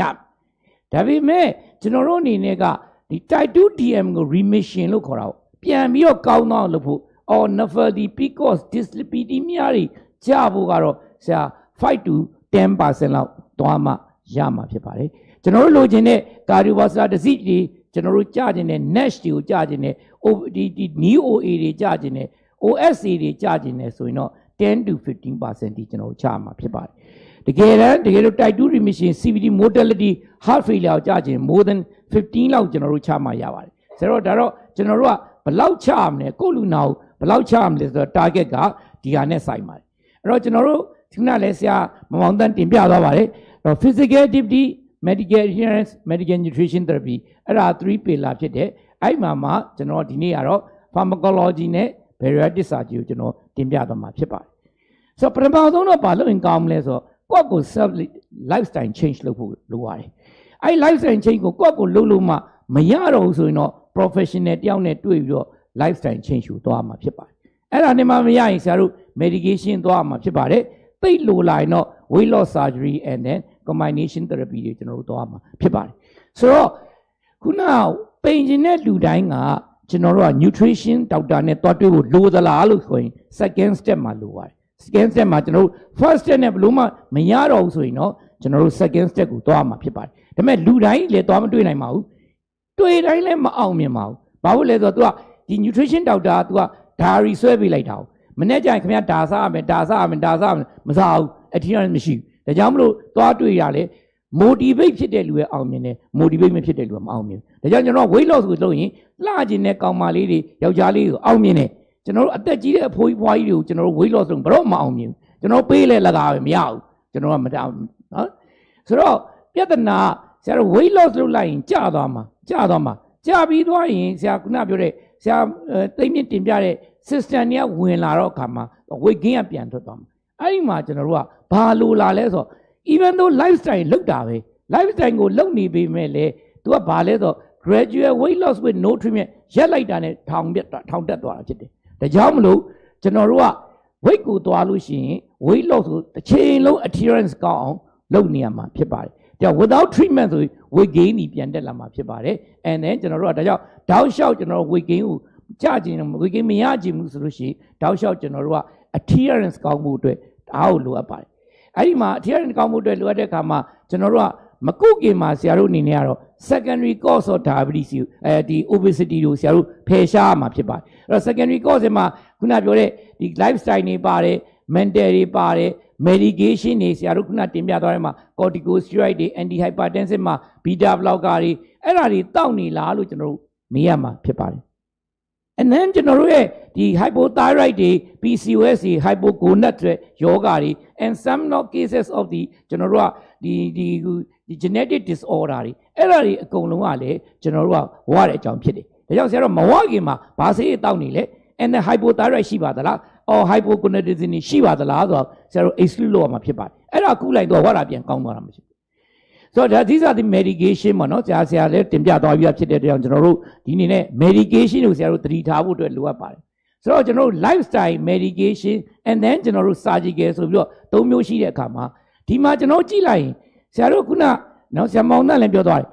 နော်ခင်ဗျားဝနေပြီးဝိတ်ချဖို့လိုတယ်ဆိုဆိုတဲ့ advice only ပေးတာကိုကျွန်တော်တို့ကဒီမှာရေးထားပါတယ်အပြထားပါတယ်နော် advice only ကအမဲရောင်လေးပါအောက်မှာ sibutramine ဆိုတာမရှိတော့ဘူး oli set ကအနီရောင်ကြောင်းလေးပါ very low energy diet ကိုအပြာနုလေးနဲ့ပြထားပါတယ် meal replacement ကအပြာရင် diet လုံး diet exercise exercise အဲ့လိုလိုက်ကြည့်ရအခါမှာအကြဆုံးထဲမှာပါသွားတွေ့ရဆို very low energy diet ကအကောင်အကြဆုံးပဲဆို တော့အဲ့တော့ကျွန်တော်တို့က calorie ကိုတစ်ထောင်အောက်ကိုကြအောင်လုပ်နိုင်ရင်တကယ်ကိုကြကျင်းတယ်ဒါဟုတ်အဲ့ဒါသာတောက်လျှောက်ဆိုသွားနိုင်တော့အကောင်းဆုံးပဲဒါပေမဲ့ तू ကနောက်ပိုင်းမှာမလုံနိုင်ဘူး6 month လဲကြော်မလုံနိုင်တော့ပြန်ထောင်တက်သွားဒါကြောင့်မလို့တစ်သက်လုံးသာ very low calorie diet စားနိုင်အရန်ကိုအောင်မြင်ကျွန်တော်ကျွန်တော်တို့ဒီဒူဘိုင်းသွားတော့ obesity တို့အားတဲ့လွန်ခဲ့တဲ့အနှစ်4000မှာစတွေ့တယ်ဘလို့တွေ့တာလဲဆိုတော့အဲ့ဘယင်ကြီးကဝါလုံးအားကြီးလို့ကလထိုင်မှာထိုင်လို့မရတဲ့ခါမှာသူတို့နန်းချလိုက်တယ် သူတို့ကတော့ကျွန်တော်တို့စီကတလွန်ကြီးကိုကျွန်တော်အကျေကြီးသူတို့ကကျတော့ကလထိုင်နဲ့ထိုင်နန်းချလိုက်တော့သူ့အမေကခေါ်သွားပြီးတော့သူ့ကိုဘာလုပ်လဲဆိုတော့ခန်းတကားထဲမှာထည့်ပြီးတော့ဗလက်ကျုပ်ချုပ်ပလိုက်တယ်ဗလက်ကိုချုပ်လိုက်ပြီးတော့ပိုက်လေးတစ်ချောင်းပဲတက်ပြီးတော့အဲ့ပိုက်နဲ့ပဲရေတောက်ခိုင်းတယ်အဲ့ဒါသူကဝါပိန်သွားတယ်ပိန်သွားတော့မှနန်းပြန်တက်လို့ရတယ်အဲ့တော့ theoretically ကတော့မစားဘူးအဓိကပဲပေါ့နော်မစားဘူးအဓိကအဲ့တော့ဒီဟာကအကောင်းဆုံးပဲ diet နဲ့ exercise ကအစိမ့်နုလေကျွန်တော်တို့ရဲ့အနီရောင်လေးက early step ဆိုတာဒါတွေကအသင့်တင်ကောင်းတာရှိပါတယ်အဲ့တော့ကျွန်တော်တို့အနေနဲ့အကောင်းဆုံးဒီ ပထမ6 month မှာပဲကျွန်တော်တို့ရတာဖြစ်ပါတယ်ဒါကြောင့်မလို့တို့ကဘာလဲဆိုရင်နောက်ဆုံးမိတ်တော့ low calorie diet အကောင်းဆုံးပဲ very low calorie diet အရန်ကောင်းတယ်ဆရာကြည့်လိုက်ရင် A1C ကျတယ် weight ကျတယ် HDL တက်တယ် TG တက်တယ်အကုန်လုံးအဲ့ဒါကိုဆရာမမောင်နဲ့ခုနတင်ပြပြီးသူပြတယ်အဲ့တော့ကျွန်တော်တို့အားလုံးပြန်သွားရင်အကောင်းဆုံးနည်းကဘယ်ဓာတ်ရက်ကိုစားရမှာလဲလို့ပြောရင်ဆရာမောင်နဲ့ခုနပြောတော့မှာ55 25 20ဖြစ်ပါတယ်55ဆိုကြကာဝိုက်တွေကို55စားပါ55ရာခိုင်နှုန်းเนาะ and then protein ဒီ25ရာand then fat ဒီ25 protein ဒီ25ရာခိုင်နှုန်းဖြစ်ပြီးတော့ fat ကို20ထားရမှာဖြစ်ပါတယ်အဲ့တော့ပြောလိုက်ရင်တော့ low calorie low fat high protein diet is the best အကောင်းဆုံးပဲအဲ့ဒါပို့ပြီးတော့ဆရာတို့လုပ်နိုင်ရင်တော့ very low calorie diet ကိုသွားပါဆရာတို့ကျွန်တော်ပြောတဲ့ dash တို့ paleo တို့ကျွန်တော် mediterranean တို့ဒီအ ကုန်လုံးမရပါဘူးဆရာတို့ကြည့်လိုက်လိုချင်တဲ့ target ကိုအကုန်မရပါလိုချင်တဲ့ target ကိုရခြင်း low calorie low fat and the high protein diet that's the best အကောင်းဆုံးနည်းပဲဖြစ်ပါတယ်အဲဒါကြောင့်မလို့ကျွန်တော်ကဘာလို့ဆရာခုနတင်ပြလို့အဲ့လိုမှမလုံနိုင်ရင်တစ်နေ့တစ်နေ့ကို900ပဲရှော့စားလိုက်ပါတစ်နှစ်ပတ်လုံးရှော့စားရင်ပိန်သွားပါလိမ့်မယ်ဆရာတို့ဒါအကောင်းဆုံးသော diet plan ဖြစ်ပါတယ်ဒါပေမဲ့ဆရာမောင်ကခုနတင်ပြသွားတဲ့အချိန်မှာဘာပါသွားလဲဆိုတော့တစ်က lifestyle only လုပ်ရင်တဲ့ diet နဲ့ lifestyle 5%ပဲဆရာကြားတယ်ဘလို့လို့လို့5%ပဲကြားဒါကြောင့်သူကမရဘူးကျွန်တော်လိုချင်တာ15ရာခိုင်နှုန်းကျော်ကြချင်တာကျွန်တော်လိုချင်အဲ့ဒါဆိုတော့ဘာထပ်တရလဲဆိုတော့ lifestyle plus drugs ကိုထည့်လိုက်လို့ရှိရင်တော့ကျွန်တော်က5 to 15% or 20%လောက်ထိရပါတယ်25%ကျော်ပြီးရကျင်တော့ဆရာတို့ bariatric surgery လုပ်ရမှာဖြစ်ပါတယ် so the bariatric surgery is the best အကောင်းဆုံးနည်းပဲအဲ့တော့ lifestyle plus bariatric surgery မှာ25ကျော်ထိကျွန်တော်ကြာပါတယ် lifestyle နဲ့ drugs နဲ့ပေါင်းလိုက်ရင်ကျွန်တော်တို့အနေနဲ့10အနေပြီးတော့20လောက်ထိကျွန်တော်ကြာပါတယ်အကြမ်းဖြင့် and then lifestyle only ကတော့ diet only ကတော့ဆရာတို့အနေနဲ့5%ပဲကြာပါတယ်ဆရာတို့တကယ်ပိန်ခြင်းရင်ဘလောက် exercise လုပ်လုပ် diet လုပ်လုပ်ပြန်ပြီးတော့ဝရတဲ့ mechanism တွေမှာဟော်မုန်းတွေအများကြီးပါနေအဲ့ဟော်မုန်းတွေကိုဆရာမပိတ်လို့ရှိရင်မမပိတ်မရဘူးမပိတ်လို့ရှိရင်ကျွန်တော်ကပြန်ဝမှာ ဒါကြောင့်မလို့တကယ်တောက်လျှောက်ပိန်ခြင်းတော့အဲ့လိုနှစ်ခုတွဲတာ the best ဖြစ်ပါလိမ့်မယ်အဲ့ဒါကြောင့်မလို့ကျွန်တော်ကဒီအစားအသောက်ကဘယ်လောက်ရေးကြီးလဲဆိုတော့ဒီဘက်ကမိန်းမကြီးကဓာရီစားနေတော့နော်ဒီဘက်ကဒီဘက်ကစားဒီလိုဝတ်တုတ်ကြီးနဲ့ဒီလိုဟာကြီးဝေးရတော့ဒီကကောင်မလေးကတော့ Mediterranean diet စားရင်တော့ဒါလှလှလေးဝေးလို့ရတာပေါ့နော်ဒါလေးကအာဒါရည်တဲ့အချက်ပါအဲ့တော့ကျွန်တော်တို့ဒီမှာဘယ်အချိန်မှာကျွန်တော်တို့ဆေးကိုထည့်ရတော့မှလဲကျွန်တော်ရဲ့အပိုင်းကဆေးကိုထည့်ရမှာဆိုတော့အခုချိန်ကြီးတော့ WHO ရဲ့ guideline က BMI 30ကျော်ရင်ထည့်ရမှာဖြစ်ပါတယ် BMI 30ကျော်ရင်ထည့်ရမှာဖြစ်ပါတယ်။ or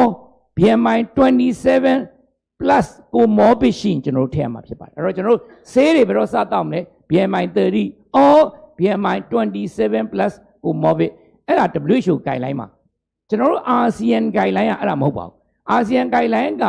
29နဲ့ကျွန်တော်တို့ဖြတ်ပါတယ်။29ကျော်ရင်ဆရာတို့အနေနဲ့က obesity လို့သတ်မှတ်ပြီးတော့အဲ့ဒါဆေးထည့်ပါတော့လို့ပြောပါတယ် ASEAN guideline 23 plus comorbid မှာထည့်ခိုင်းပါတယ်အခုကျွန်တော်တို့ကြားလာတာ BMI ကို30ကျော်ရင် obesity လို့သတ်မှတ်တယ်လို့ WHO ကသတ်မှတ်တယ်တဲ့အခုနောက်ပိုင်းမှာသူတို့ကဘာလို့ကြာရင်ကောင်းမလဲတော့21.5ကျော်ရင် obesity လို့သတ်မှတ်မယ်တဲ့အဲ့ဒါဆိုဗမာတနိုင်ငံလုံးကအကုန် obese ဖြစ်လိမ့်မယ်ကျွန်တော်ချိန်သေးတယ်ဗမာတနိုင်ငံလုံးရဲ့60ရာခိုင်နှုန်းက obesity တဲ့ပါဝါပါလိမ့်မယ်ကျွန်တော်တို့အခုရဲ့ဒူဘိုင်းကပြန်တော့သူတို့ကတဲ့ obesity ရဲ့ guideline ကိုဘယ်လောက်ထိချဖို့ကောင်းလဲ 21.5ချမယ်ဟာမဟုတ်တာလေအဲ့ဒါသူတွေကြာညိုဆိုးမျိုးလောက်တော့ကျန်တော့မယ်ကျွန်တော်တို့အကုန်တော့မရတော့တော့ဘူးနော်ဆိုတော့ကျွန်တော်တို့အနေနဲ့ဆေးတွေအများကြီးပေါ်လာပါတယ်ဆေးတွေအများကြီးမှာကျွန်တော်တို့အနေနဲ့ကဒီဘက်မှာနော်ဆေးပေါင်းများများစာမှာအခုကျွန်တော်တို့ topiramide phentermine အဲ့တော့တချို့သောဆေးတွေကဈေးကွက်မှာပျောက်သွားပါပြီ sibutramine ဆိုတာပျောက်သွားတယ် and then locasarine ဆိုတာကျွန်တော်တို့ပျောက်သွားတယ်တချို့သောဆေးတွေကပျောက်သွားတဲ့ကြောင့်ပျောက်တဲ့ဆေးတွေကိုကျွန်တော်မပြောတော့ပါဘူး လက်ရှိသုံးနေသောဆေးတွေပဲကျွန်တော်ပြောပါမယ်ပြောတဲ့အခါမှာလက်ရှိသုံးနေတဲ့အချိန်မှာ topiramide pentamine ဆိုတာရှိပါတယ်အဲ့ဒါကလက်ရှိသုံးနေပါသေးတယ်ဝက်မာက bupropion နဲ့ naltrexone လဲကျွန်တော်တို့သုံးနေပါသေးတယ်ဒီနေ့ကျွန်တော်ပြောမယ် orlistat လဲကျွန်တော်တို့သုံးနေပါသေးတယ်သူက pancreatic lipase ကိုပိတ်လိုက်ခြင်းအပြင် fat absorption 30%ချလိုက်တာဖြစ်ပါတယ်ဆိုတော့ဒီကောင်းနေရဘယ်နေရာတွေမှာအဲ့လောက်လာလဲဆိုတော့ဒီမှာပုံနေနဲ့ကျွန်တော်ပြထားပါတယ် pandemic topiramide ဆိုရင်ကျွန်တော်တို့ကဘာလဲ brain ကိုသွားပိတ်ဆရာသိန်းခုနပြော brain ကိုသွားပိတ်အဲ့ဒါတော်တော်ကောင်းနေတဲ့မှာပါပါတယ်ကျွန်တော်နိုင်ငံမှာမရှိဘူး pandemic topiramide မရှိဘူးမရှိရဘာတော့ရှိလဲဆို topiramide ရှိရ topiramide ရှိရကျွန်တော်ဖတ်ကြည့်ရကျွန်တော် pandemic topiramide ရှာရှာလို့မရဘူးရှာတော့ကျွန်တော် topiramide ကိုသွားတွေ့တယ် topiramide ကဘာလဲ migraine တွေပေးထားတာအဲ့ဒါကျွန်တော်ဖတ်ကြည့်တော့သူက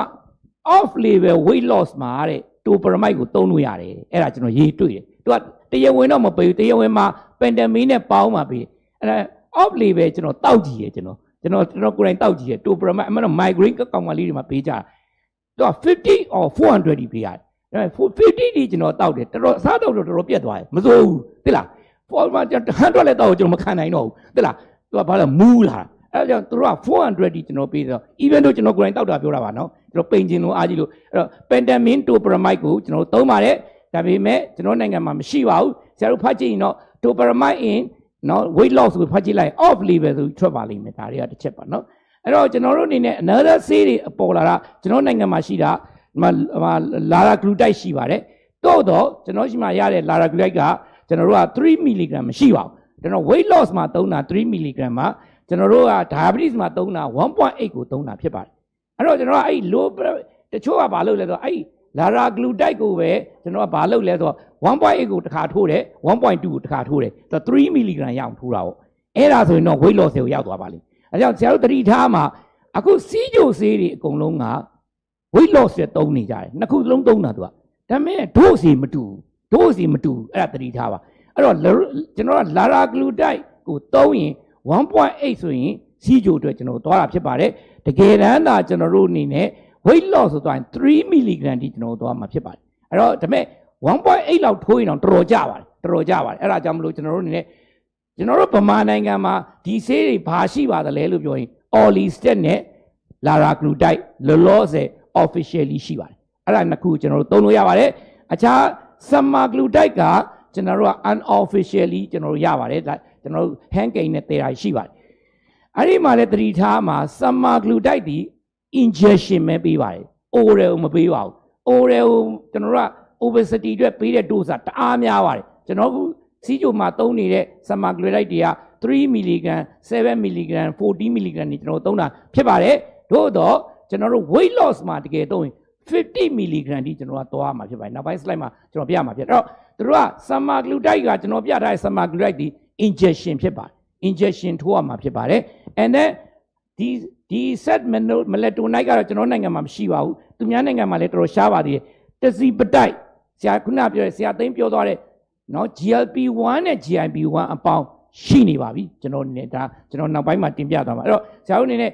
နော်ဒီ approved drugs တွေအကုန်လုံးဒီ Orlistat ကို60 to 120 mg သွားမယ်3 times per day သွားမယ် or naltrexone or bupropion liraglutide ဆို3 mg သွားမှာဖြစ်ပါတယ် semaglutide ဆိုရင်2.4 mg ကို weekly ကျွန်တော်တို့ထိုးမှာဖြစ်ပါတယ် setmelanotide တို့နော် metanephrine တို့ကတော့အဓိကကတော့အဲ့ဒါတွေကကျွန်တော်တို့က genetic ကြောင့်ဖြစ်တဲ့ obesity မှာသုံးတာဖြစ်ပါတယ်အဲ့တော့ဆရာတို့အနေနဲ့ခုကျွန်တော်တို့မှာရှိတာ orlistat ရှိတယ် liraglutide ရှိတယ်ဆရာပိုက်ဆန်ရှိရင် semaglutide ထိုးလို့ရတယ်ဒီသုံးခုကျွန်တော်ရမှာဖြစ်ပါတယ်အဲ့တော့ဒီသုံးခုရဲ့ dose ကိုဆရာတို့အနေနဲ့သိဖို့အတွက်လိုအပ်ပါတယ်ဆိုတော့ဒါတွေကတော့ဘယ်နေရာမှာ add လုပ်လဲဆိုတော့ခုနပဲ naltrexone တို့ bupropion တို့ pentamine တို့ကဆရာသိန်းခုနပြောတဲ့ hypothalamus ကိုတွားပိတ်တာဖြစ်ပါတယ်အဲ့တော့ hypothalamus စားတောက်တွေကျွန်တော် appetite တွေကကျသွားတယ် satiety တွေတက်လာတယ်အဲ့ဒါ hunger တွေကျသွားတယ်ဒီနည်းနဲ့ကျွန်တော်ကျင့်သုံးတာဖြစ်ပါတယ် liraglutide တွေ semaglutide GLP-1 တွေကလည်း they also go for the ကျွန်တော်တို့က hypothalamus ကိုတွားပိတ်တာရှိပါတယ်ဒါကြောင့်မလို့သူတို့ကအားသာချက်ကအောက်ကဟော်မုန်းတွေအကုန်လုံးကခုနဆရာသိန်းတင်ပြသွားတဲ့အခါမှာဘာပြောလဲဆိုတော့သူပိန်လာလို့ရှိရင် ခေါင်းကိုတွားတွားပြီးတော့ break system လေးပေါ့ break system မှာဆရာတို့တတိထားမှာ ghrelin ဒီမကောင်း ghrelin များလေလေလေလေလေစားခြင်းလေလေပဲအဲ့တော့ ghrelin ကိုချ ghrelin ကိုချ and then ကျွန်တော်တို့ကဘာကကောင်းလဲဆိုရင် leptin နော် leptin ကကောင်းတယ် and then ကျွန်တော်တို့ GLP-1 နဲ့ GIP-1 တွေကကောင်းတယ်အဲ့ဒီကောင်နေနဲနေလို့ရှိရင်ကျွန်တော်တို့ကဘာဖြစ်လဲဆိုလို့ရှိရင်ဒီကောင်ပို့ပို့ပြီးတော့ဝရတဲ့အတွက်ကြောင့်မလို့ကျွန်တော်ဒီ system တွေကိုကျွန်တော်သုံးပါတယ်ကျွန်တော်နိုင်ငံမှာရှိတဲ့ Orlistat ကတော့ lipase inhibitor လို့ခေါ်ပါတယ်အဲ့ဒါကတော့ကျွန်တော်တို့ကစားလိုက်တော့အစီများအားလုံးကိုကျွန်တော်တို့က block လုပ်လိုက်လောက်လိုက်တော့ကျွန်တော်တို့အကောင်လုံးဝင်းနဲ့ပြန်ထွက်သွားတယ်ဒါကြောင့်မလို့သူ့ကိုစားတော့ရင်တော့နောက်ကဘာလဲဆိုတော့အစီလေးတွေနည်းနည်းရှိတယ်ကျွန်တော်စားလာအောင်ပြောတယ်ခင်ဗျားတို့ခင်ဗျားတို့ကတချို့ကဒီ Orlistat ကိုစပေးကန်နေကြရင်ကျွန်တော်တို့ကနော် weekend นี่မှာပဲကျွန်တော်ပေးခိုင်းတယ်ဘာလို့လဲဆိုတော့ weekend မှာကျတော့ကျွန်တော်ကရုံမသွားတော့လေရုံမှာဆိုနှုတ်မဆိုဘောင်းမီဝင်ရုပ်ပြက်စမြဖြစ်မှာအကွက်ကြီးနဲ့အဲကြောင့်ကျွန်တော်ပြောတယ်ခင်ဗျားတို့က ခင်အတောင်ပန်လေးနဲ့အတူတွဲရအောင်မယ်ထင်တယ်လို့နော်ဆိုတော့ဒါတွေကဘယ်နေရာမှာဘလို့အလုပ်လုပ်လဲပေါ့ဘယ်မှာလို့လို့ appetite suppressant အတွက်ဆိုဆရာပါသုံးလို့ရလဲဖီတာမင်ရတယ်တိုပရမတ်ရတယ်ဖီတာမင်တိုပရမတ်မယ်ဒါတွေရအကောဘင်ပေါ့စားခြင်းစိတ်ပြောက်သွားအောင် bupropion neprion နဲ့အဲ့ဒါကြီးကျွန်တော်သွားမယ် GI track မှာ slow ဖြစ်သွားဖို့ကဒီဘက်က liraglutide semaglutide တစိပတိုက်တွေကသွားမယ် insulin resistant ကတော့ metformin ပေါ့ဟိုဘက်က absorption ကြဖို့ကတော့ orlistat ကိုကျွန်တော်ကျင့်သုံးမှာဖြစ်ပါတယ်ဒါတွေက mechanism တွေဖြစ်ပါတယ်ဒါတွေကတော့ dose တွေဖြစ်ပါတယ် dose တွေတော့ကျွန်တော်အသေးစိတ်ကျွန်တော်မပြောတော့ပါဘူးပြချင်တာတခုကတော့ဒီမှာပါကျွန်တော်တို့ကဒီ orlistat ကိုပေးလိုက်ရင် first generation ပေါ့နော်သူကတော့သူကတော့ baseline to 52 week လောက်ဒီကျွန်တော်တို့သွားပါတယ်52 week သွားရင်နော် placebo ဒီ6.2လောက်ကြပြီမဲ့ intervention မှာ10.6လောက်ကျွန်တော်ကွာတာဒီမှာဒါတော့တော်တော်တော့ရနော်52 week လောက်ဒီကျွန်တော်သွားတယ် weight loss after 1 year မှာကျွန်တော်တို့က 44% weight loss ကြီး5% every 5%သမားတွေမှာ44ရတယ် every 10%တွေမှာ22% weight loss ရတယ်ဒါဒီကျွန်တော်တို့နိုင်ငံမှာရှိနေတဲ့ Orlisat ကိုသုံးရင်ဆရာတို့ဒီလောက်လောက်ရမှာဖြစ်ပါတယ် dosing ပေါ့အဲ့ဒီမှာ semaglutide ကိုထိုးရင်ဆရာပက်ပက်ဆက်ဆက်ကြတယ် semaglutide တွေဘယ်လောက်ထိကြလဲဆရာတောက်ကြည့်ဒီမှာ44% 1 year သွားတဲ့အချိန်မှာသူဒီနှစ်ဆပြန်ကြသွား86%ကြ86%လူထိုးသမျှလူရဲ့5%မှာ86ရမယ် ထိုးသမျှလူရဲ့20%အောင်32ရဆိုတော်တော်ကြီးကိုကောင်းတယ်သူကတပတ်ကိုတစ်လုံးထိုးရမှာဖြစ်ပါတယ်ဒါပေမဲ့ပြဿနာကပတ်စံ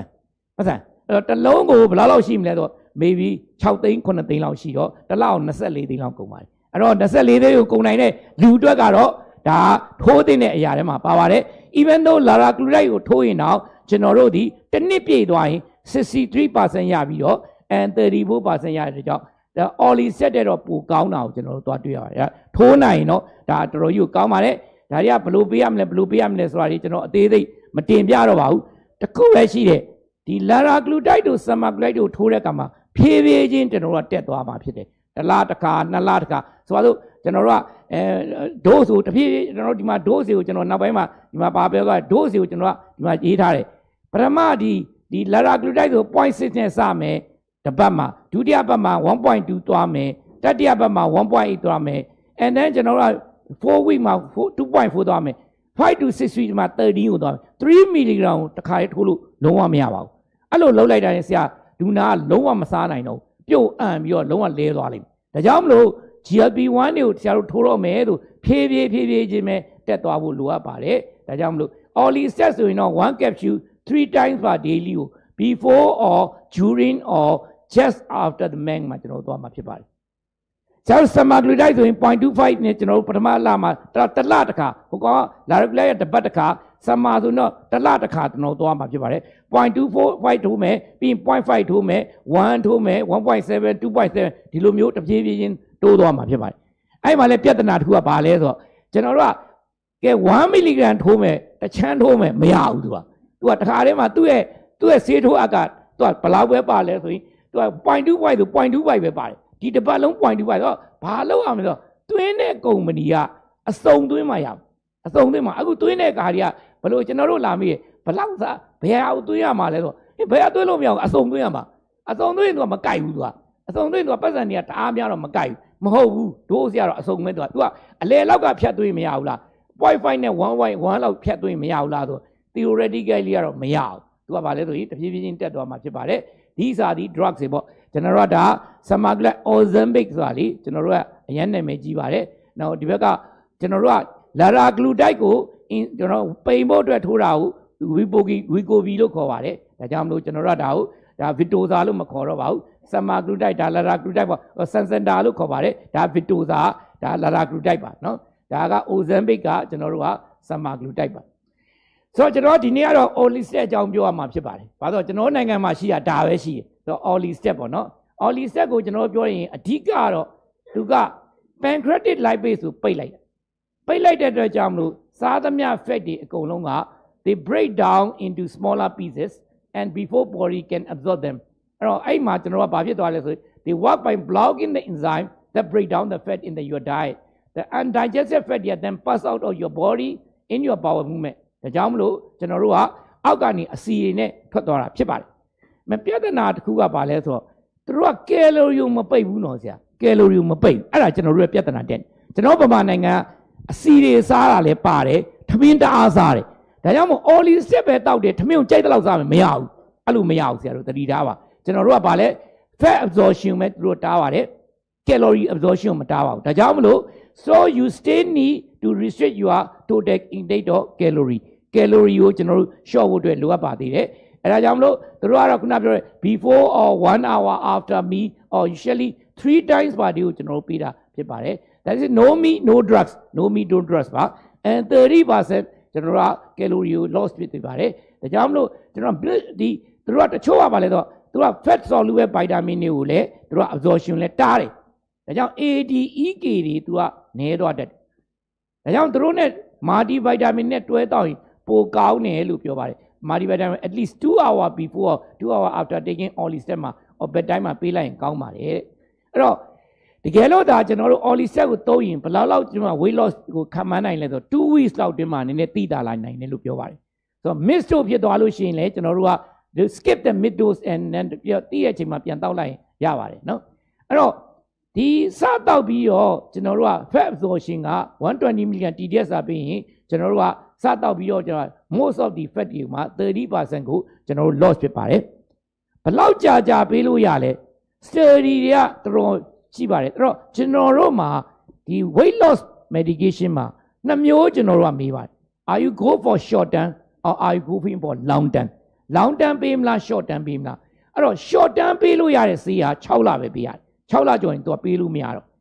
long term ပေးလို့ရတယ်ဆိုတာနှစ်နဲ့ချီကျွန်တော်တို့ပေးလို့ရတယ် အခုကျွန်တော်တို့တင်ပြတဲ့ဈေးတော်တော်များများဒီ short term လည်းရတယ် long term လည်းရတယ်ဆိုတော့ early step မှာကျွန်တော်တို့ကဘာပြောထားတော့ဒီမှာ pancreatic lipase ကိုပိတ်တယ် early step နဲ့ lifestyle နဲ့ပေါင်းလိုက်ရင်ကျွန်တော်တို့ကပိုရတယ်အဲ့ဒါ4 years study ဒီကျွန်တော်တို့ကစိတ်ချလက်ချပေးလို့ရပါတယ် and side effect တွေကတော့ကျွန်တော်တို့ပထမ episode တွေမှာများတယ်နောက်ပိုင်းနေကြရင်နည်းနည်းသွားတယ်စပေးတုန်းကသာဖြစ်တာနောက်ပိုင်းကျ adaptation ရရင်နည်းနည်းသွားတာကိုကျွန်တော်တွေ့ပါတယ် တကယ်ကို weight loss ကို study တွေမှာ2 years လောက်ထိကိုကျွန်တော်တို့ down shot ပေးပြီးတော့သွားလို့ရပါတယ်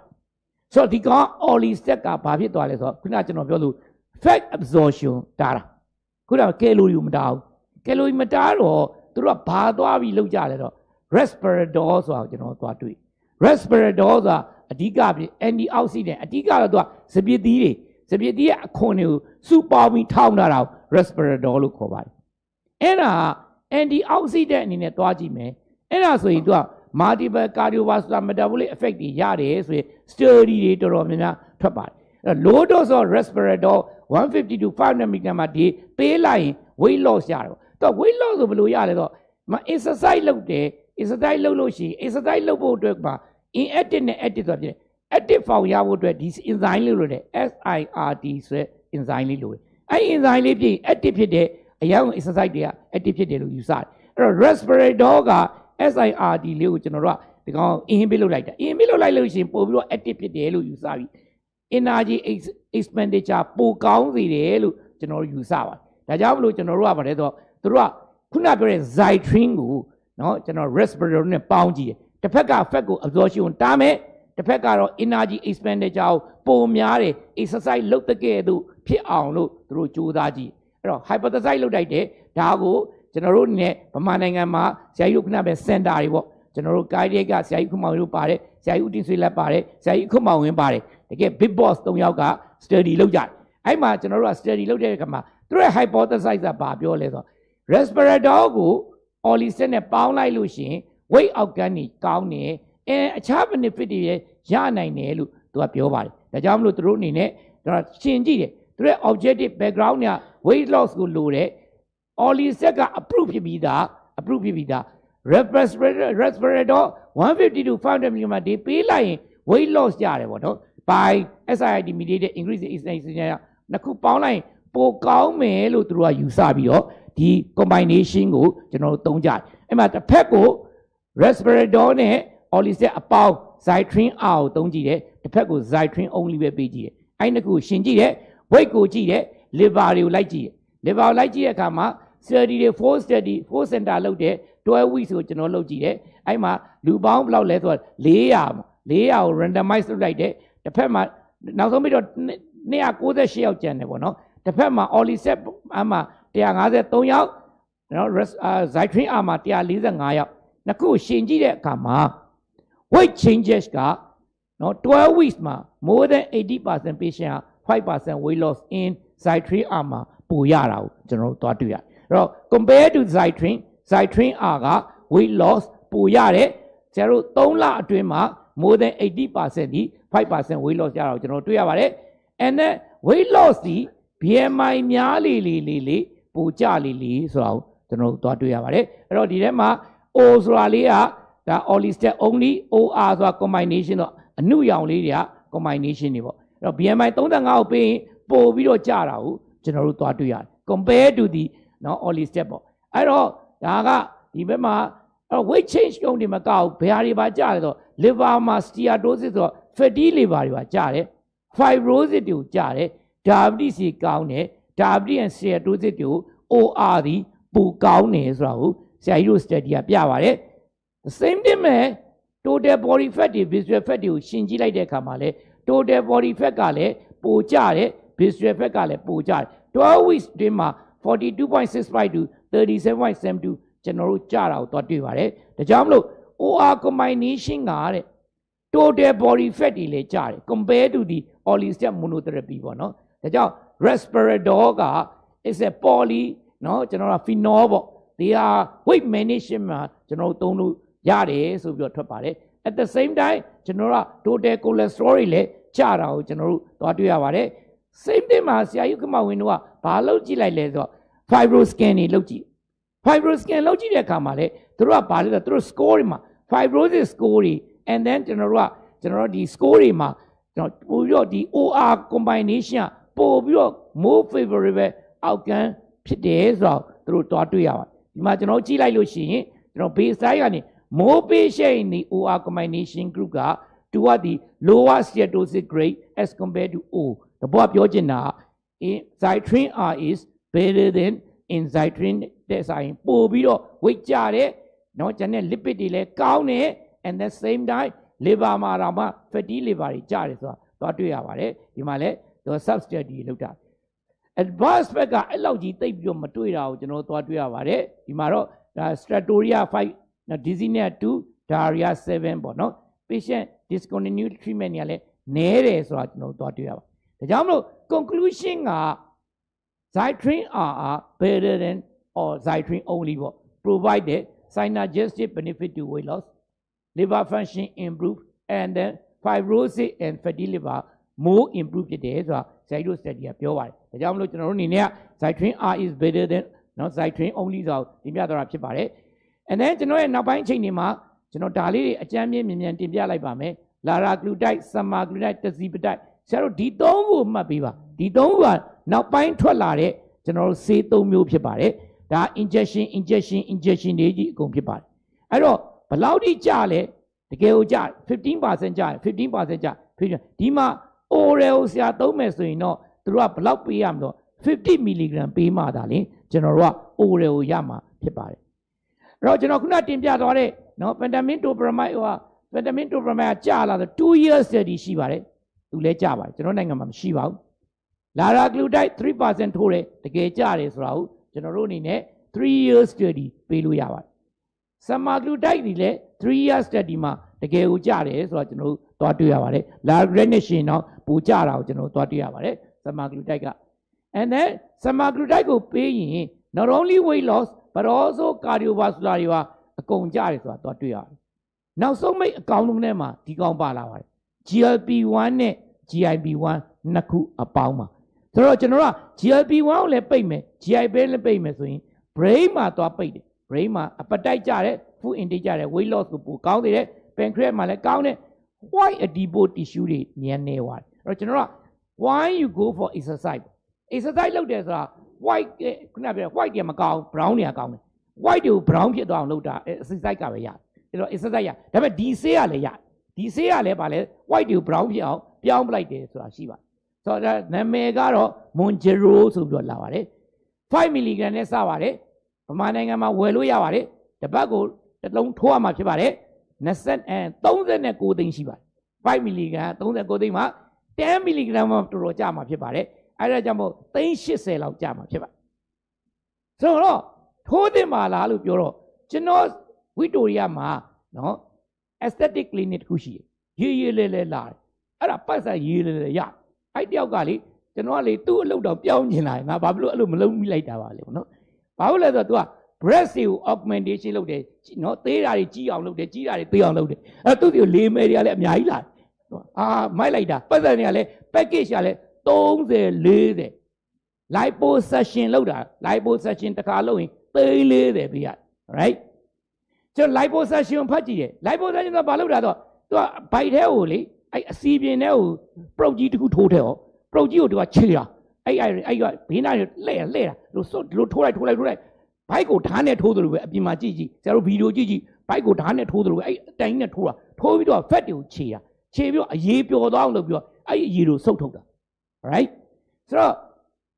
liposuction က weight loss လား no မဟုတ်သူက body shape ကိုပြောင်းလိုက်တာဘိုက်ပူတာကိုဘိုက်ပိန်အောင်လုပ်တာဒါပဲဒါပဲလုပ်လို့ရတယ်သူကပြီးရင်သူကလှုပ်လို့ဆက်လှုပ်လို့မရတော့ weight loss မဟုတ်အဲ့ဒါတော့မှသူက340ပဲလုပ်တာ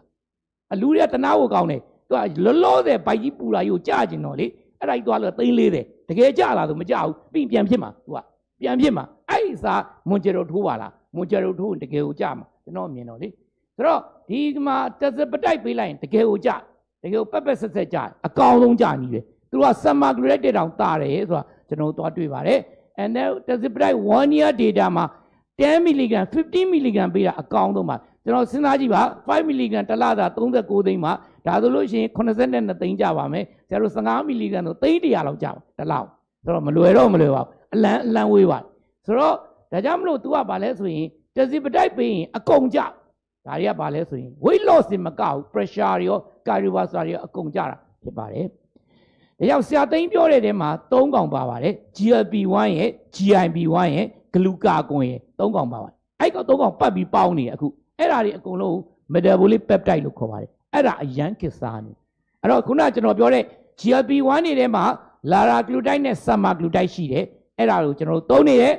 GLP-1 နဲ့ GIP-1 အပေါင်းမှာ tirzepatide ကိုကျွန်တော်တို့သုံးနေတယ်။ အဲ့မှာတစ်ခါထပ်ပြီးတော့သူက GLP-1 GI မှာအမိုင်လင်းဆိုတာတစ်ခုထပ်ထွက်လာသေးတယ်နောက်သူကသုံးခုပေါင်းဂလူကာကွန်ဆိုတာပါတယ်ဆရာပြောတယ်အဲ့သုံးကောင်တွေလိုက်ပေါင်းကြည့်ရမဆရာသိန်းပြတဲ့ slide တစ်ခုပါရှိပါတယ်ဒါဆရာသိန်းကျွန်တော်တို့ဒီအာဒီဂျူဘိုင်းမှာပြတာ GLP-1 နဲ့ GIP ပေါင်းနဲ့ twin creatine လို့ခေါ်တဲ့ခုတစ်စပတိုက်ပေါ့ GLP-1 နဲ့ glucagon ပေါင်းနဲ့ GLP-1 နဲ့ SGLU ပေါင်းနဲ့မျိုးစုံလိုက်ပေါင်းတယ်သူတို့လက်ရှိတော့ကျွန်တော်တို့ခုသွားနေတာက GLP-1 GIP အပေါင်းပုံနော်သူတို့ကတကယ်တမ်းက အစားတောက်တွေလည်းအကုန်ကြတယ်သူကအကုန်လုံးစားခြင်းစိတ်တွေအကုန်ပြောက်ကုန် energy intake တွေပါအကုန်ပြောက်ဒါကြောင့်မလို့ဒီထဲမှာ GLP-1 glucagon ပေါင်းတယ် GLP-1 GIP ကောင်းတယ်နောက်ဆုံးမိတ်ကျွန်တော်တို့သွားနေတာ GLP-1 GIP ဂလူကာကွန်၃ခုပေါင်းတာထွက်နေပါပြီထွက်နေပါပြီ reticulocyte လို့ခေါ်ပါတယ်ထွက်နေပါပြီအဲ့ဒီကောင်က weight loss ဆိုပက်ပက်ဆက်ဆက်ကြပါတယ်တစီပတိုက်တဲ့တောင်ကြသေးတယ်ဒါပေမဲ့သူတို့က cardiovascular တွေတော့အောက်ကန်းတွေကတော့အခုမှစတဲ့အတွက်ကြောင့်ကျွန်တော်တို့ကသွားနေတာဖြစ်ပါတယ်အဲ့တော့ဒီမှာဆိုလို့ရှိရင် तू ကအမိုင်လီနဲ့ GLP နဲ့ပေါင်းတဲ့နာမည်ကပါလဲဆိုရင် carglinitide လို့ခေါ်ပါတယ်အဲ့ဒါစမာဂလူတိုက်နဲ့ရှင်ပြီးတော့ကျွန်တော်သုံးကြည့်ပါတယ်အဲ့မှာကာဂလီနီတိုက်ကပိုတော်ကြတာကျွန်တော်တွေ့ရပါတယ်ဆမာဂလူတိုက်တဲ့ဆိုင်ကာဂလီနီတိုက်ဒီပိုကြတယ်ဆိုတော့အဲ့တော့ကာဂလီနီတိုက်မှာဆမာဂလူတိုက်2.4နဲ့ တော့အမိုင်လင်ဖြစ်တဲ့ကာဂလီနီတိုက်ကို4.5နဲ့ကိုပေါင်းထားတဲ့အခါမှာကျွန်တော်ကြည့်တဲ့အခါမှာ weight loss ဆိုတာသူကပိုကြအပေါင်းတွေကပိုကြတာကိုကျွန်တော်သွားတွေ့ရတယ် and then ခုကျွန်တော်ခုနပြောတဲ့ reta true type ဆိုတာ၃ခုပေါင်းထားတာဖြစ်ပါ GLP-1 GIP-1 and glucagon အဲ့ဒါ phase 2 trial မှာရောက်နေပါပြီ and weight loss စီတော်တော်တော်ကြပါတယ် cardiovascular တွေကတော့ကျွန်တော်တို့စောင့်ကြည့်သေးဖြစ်ပါတယ်ဆိုတော့ဒီဟာတွေကတကယ်ကြတယ်ဆိုတော့ study ပေါင်းများများစွာကျွန်တော်ပြောထားပါတယ်တောက်ဆေးနှမျိုးပေါ်ပါတယ် တောက်ဆေးက semaglutide ကနော် ofragliflozin ဆိုတဲ့တောက်ဆေးနှစ်ခုပေါ်ပါတယ်ခုနပြောတာကြီးကတော့ထိုးသေးပါ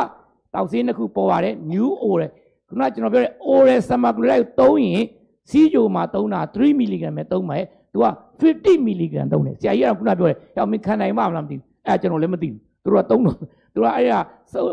study တွေတော့လုပ်နေကြ oral semaglutide 50 mg taken once per day in patient with obesity က phase 3 trial မှာရောက်နေပါပြီ and then 51.1%ကျွန်တော်တို့ကြပါကြပါ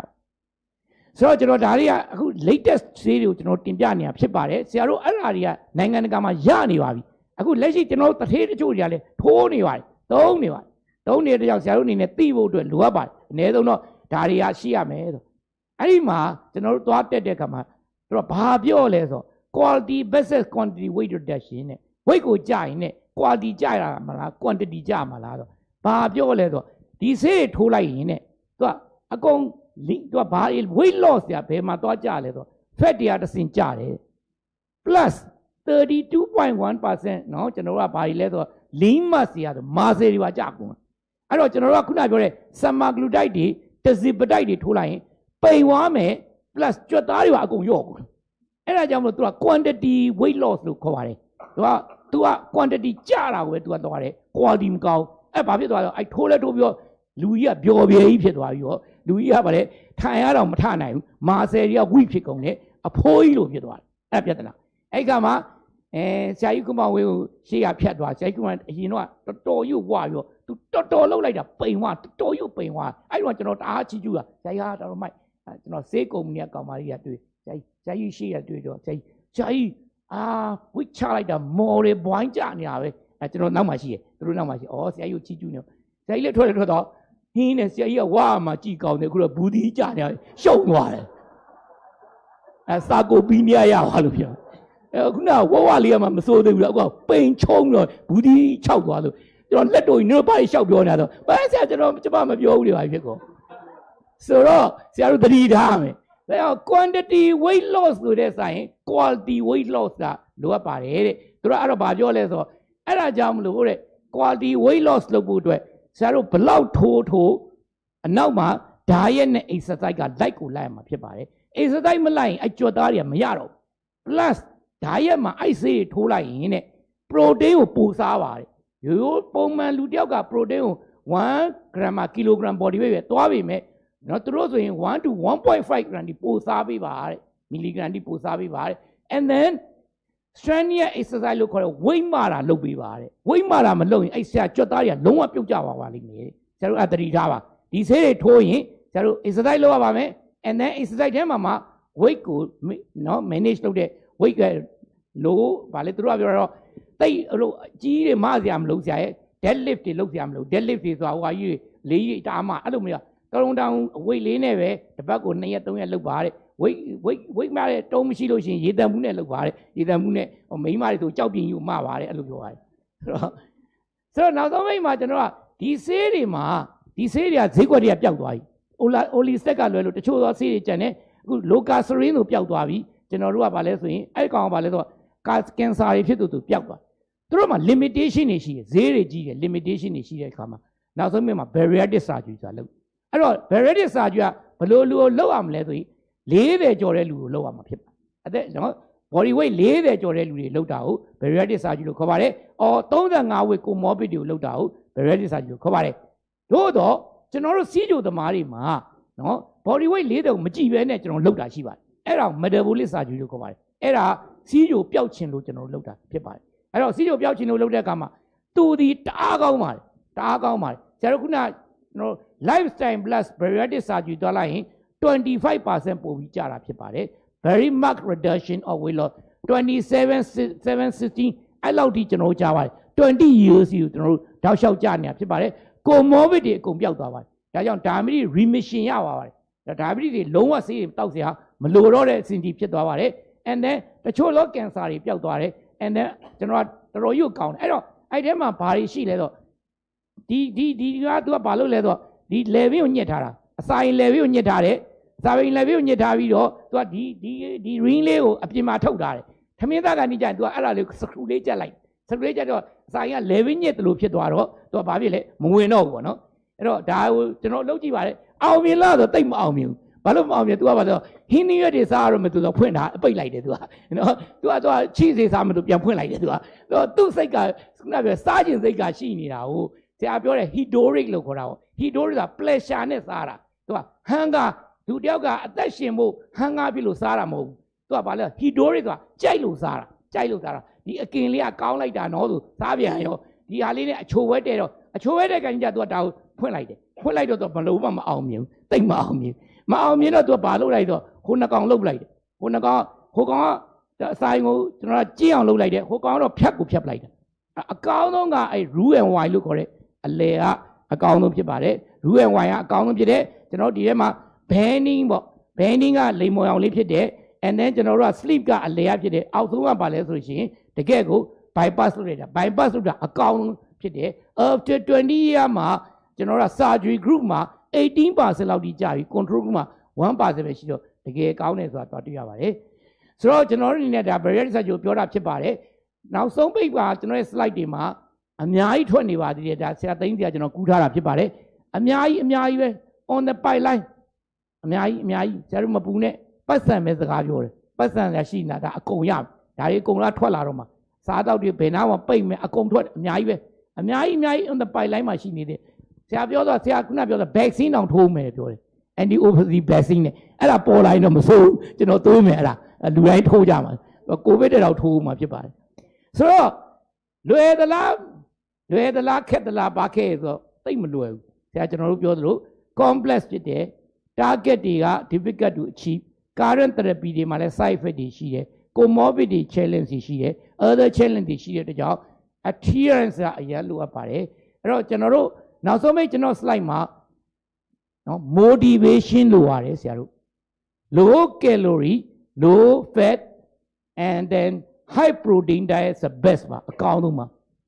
လုံးဝမလုံနိုင်ရင်တော့ဆရာတို့နော်ဆရာမောင်တန်းပြတဲ့ထမင်းတရုတ်ပကံလုံးတစ်လုံးလောက်ကိုတစ်နေ့တစ်နေ့မှာဖယ်ပေးပါအဲ့ဒါ500 500ကီလိုကယ်လိုရီကိုတစ်နှစ်ပတ်လုံးလုံးဆရာတကယ်ကြပါမယုံကြည်ပါတကယ်ကြထမင်းစားပြီးသွားလို့ရှိရင်ကျွန်တော်တို့ပြောပြောတဲ့လေးပုံတစ်ပုံပဲထမင်းပြမယ်ထမင်းတစ်ပကံမှာတော့များနေသည်လေးပုံဒါမှမဟုတ်မရလဲသုံးလေးလုံးလောက်ခြံထားခဲ့ပြီပါနော်အဲလူကြီးတိမတွေပြောတဲ့ဟာကိုလည်းကျွန်တော်လိုက်နာမလားမလိုက်နာမပြောတတ်ဘူးလူကြီးတိမတွေကဒီထမင်းတွေကိုပြောင်းစား တော့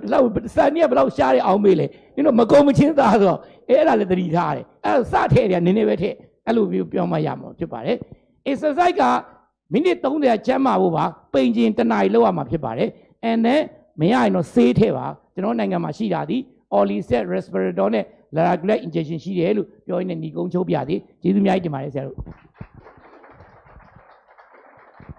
Thank you so much, Yai, for your valuable presentation. May I invite um, Martin So, Senior Brand Manager from Zara Lifestyle onto the stage for product presentation. ။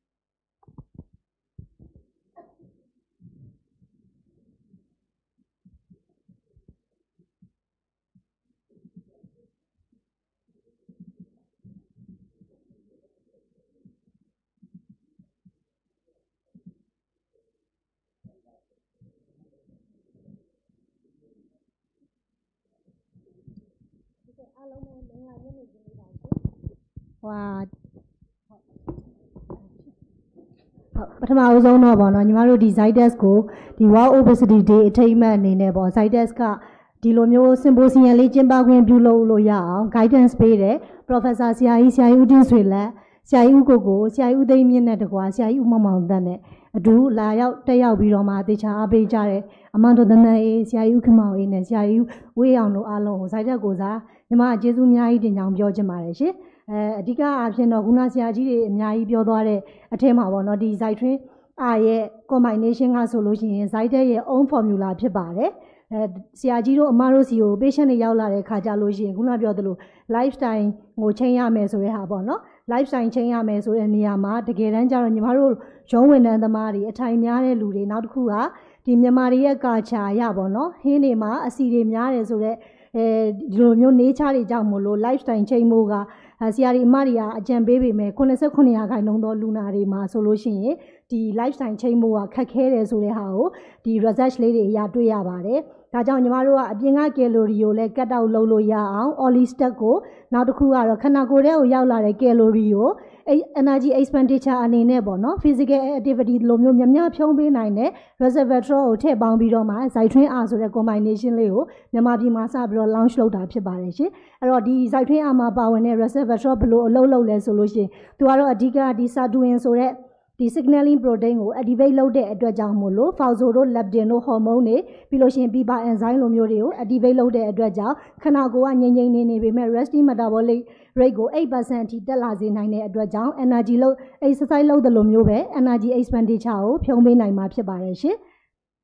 ဒါကြောင့်မလို့အဓိကကတော့ Olistat ကအပြင်အဝင်လာတဲ့ calorie ကို cut လုပ်ပေးပြီးတော့ resveratrol ကတော့ energy expenditure ကိုတိုးစေခြင်းအပြင် synergistic action နဲ့ weight loss ကိုပို့ပြီးတော့မှလွယ်ကူစေနိုင်တာဖြစ်ပါတယ်။ဒါကတော့ဆရာကြီးတို့ ကုနာဆရာကြီးဦးတင်ဆွေလက်တို့ရဲ့ guidance နဲ့ညီမတို့ပေါ့နော်ဒီ Olistat နဲ့ Cytrin R ဒီ combination ကိုလူနာပေါင်း300နီးပါးမှာ trial ပြုလုပ်ခဲ့ပါတယ်2023မှာအဲ့ဒီ trial ရဲ့ data တွေက Assicon လိုမျိုးနောက်တစ်ခုက Asia Pacific Digestive Week လိုမျိုးမှာ poster ညီမတို့ submission တွေနဲ့ရွေးခံရတယ်လို့မျိုးအခုဆိုရင် Medwin လိုမျိုး international journal တွေမှာလည်းမကြမီမှာ publish အနေနဲ့ပါဝင်လာတော့မှာဖြစ်ပါတယ်ဒါဆရာကြီးတို့ရဲ့ guidance ရ ညီမတို့ Zydex ကလိုက်ပြီးတော့အဲ support လုပ်ပေးခွင့်ရတာလည်းကျေးဇူးအများကြီးတင်ပါတယ်ရှင်အဲ့တော့ဒါဆိုလို့ရှိရင် Asia Pacific Digestive Week မှာလည်းညီမတို့ကဒီဘောနော်သူ့ရဲ့အဲ subgroup analysis လိုမျိုးမှာအဝါလွန်နာခြင်းအတူတူမှာ extreme obese သမားတွေမှာဒီ combination ကပို့ပြီးတော့မှ weight ကြတာသိတာသလို lipid နဲ့ပတ်သက်ပြီး improve ဖြစ်တာ နောက်တစ်ခုကတော့ဒီနောက်တစ်ခုပေါ့နော်ဒီ fatty liver လိုမျိုးမှာ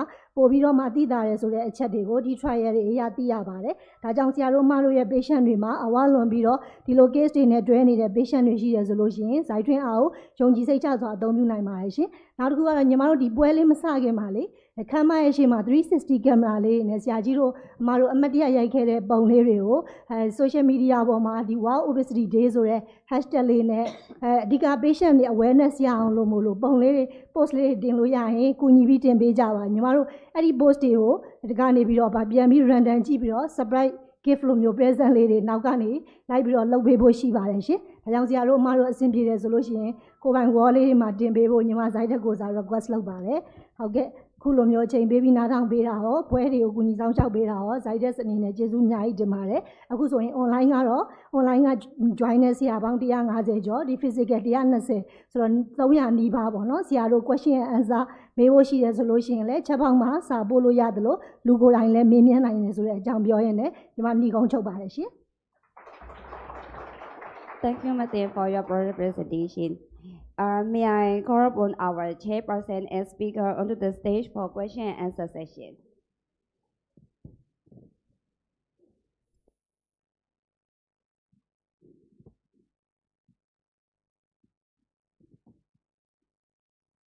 We are now open for question and answer session. You can ask the question freely now.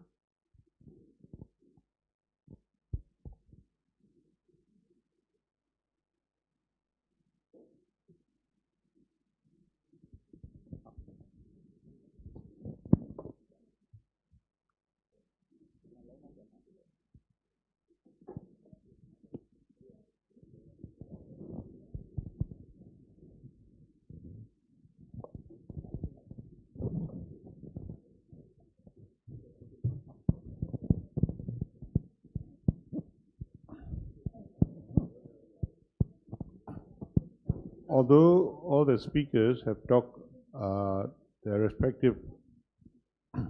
topic very uh, lengthily and very informatively, uh, there can still be room for uh, questions. No, အဲ့တော့ကျွန်တော်တို့မေးနိုင်ပါတယ်မရှင်းတာချင်း to clarify some uncertainties and also you can add some comments. So this is a section for the question and answer uh, sections. So now the floor is open. Okay, yeah, me was yeah.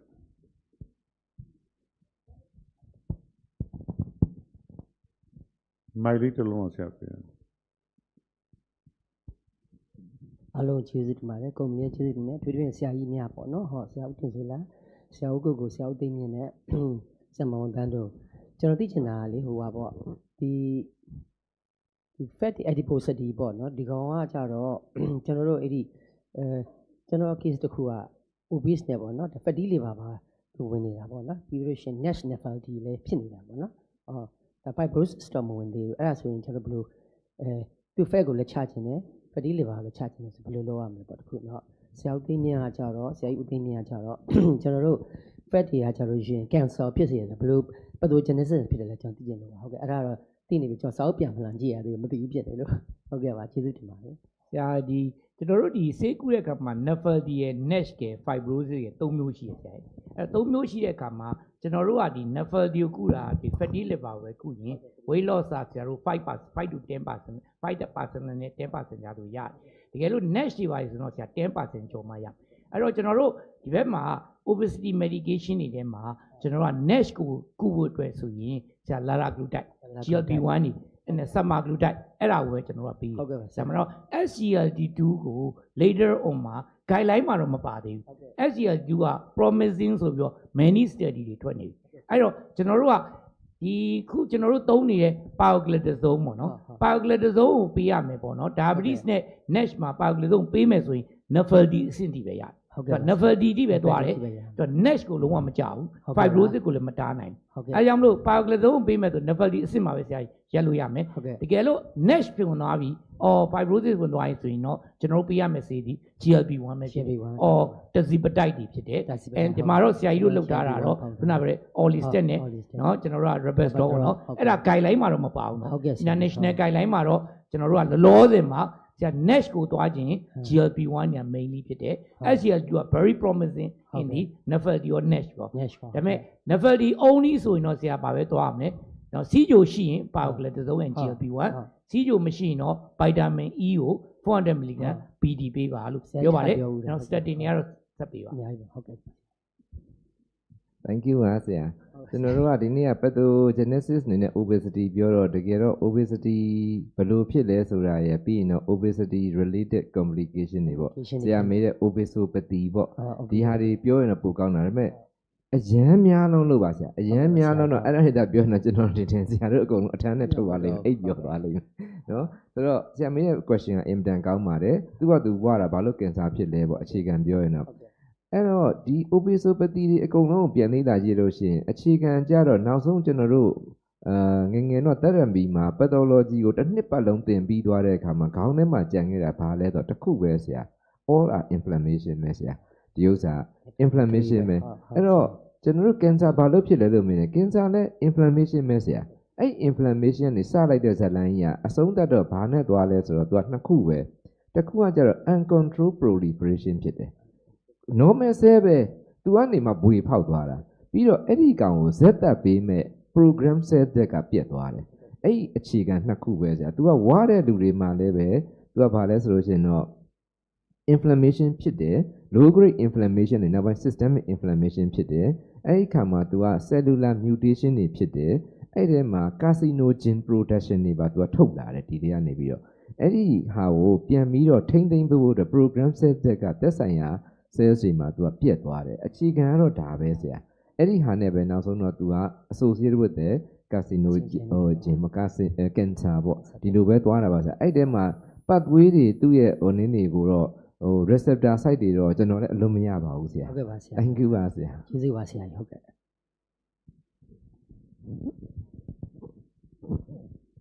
Professor Dothanay. မိခွန်းတော့အများကြီးမမေးပါဘူး um thank you and congratulate uh, want to congratulate all the speakers and uh, ဒီနေ့တက်ရောက်လာတော့เนาะမသိရသေးတာလည်းအများကြီးသိရပါเนาะ so first of all ကျွန်မအမြင်ပေါ့နော်ဒီ obesity ကို manage တာအခက်ဆုံးပဲပေါ့နော်အဓိကကဘာလို့ဆိုတော့သူကမွေးကလေးကနိုးဆိုတာနဲ့အိတ်တာပဲခလေးကလေးကလေဒါလေးနိုင်ဒီပါအိတ်တယ်နိုးဆိုရဲအဲ့နှစ်ခုကဖြောင်းလို့ကတော်တော်ခက်တယ်ဆိုတော့ဒီဟာကို စန့်ကျင်ဖို့ဆိုတာတော်တော်ခက်တယ်ဒါကြောင့်ဒီဟာအကုန်လုံးခက်နေတော့မယ်ဆိုတော့ဆရာသိမင်းပြောတယ်ပက်သို physiology တွေအများကြီးပဲပေါ့နော်အဲ့ဒါတွေလည်းပို့ပြီးတော့သိလာရတာတကယ်နော်ဒါမင်မောင်တန်းပြောတဲ့ဒါ lifestyle နော်ဒါအခက်ဆုံးပဲတော်တော်ခက်တယ် lifestyle ဆရာကူကူပြောတဲ့ဈေးတွေကြတော့လဲအထေးကြီးဖြစ်မှာပဲနော်တော်တော်စဉ်းစားအောင်နော်အဲ့ဆိုရင်ဒါသိဈေးမကြီးတဲ့ဟာဆိုရင်တော့လေအခု side trim အားတော့ နည်းနည်းမဆိုးဘူးထွင်ထင်တာပဲနော် weight ကြမယ်ဆို lifestyle နဲ့ပေါင်းပြီးတော့နော်ဆိုကျမတို့ patient တွေကိုအဲဒီသမင်းစားတယ်ဒီအရင်တော့ကတော့အကုန်လုံးတူတူပဲလို့ထင်ပေမဲ့ carbohydrate ကအရေးကြီးဆုံးပဲပေါ့နော် weight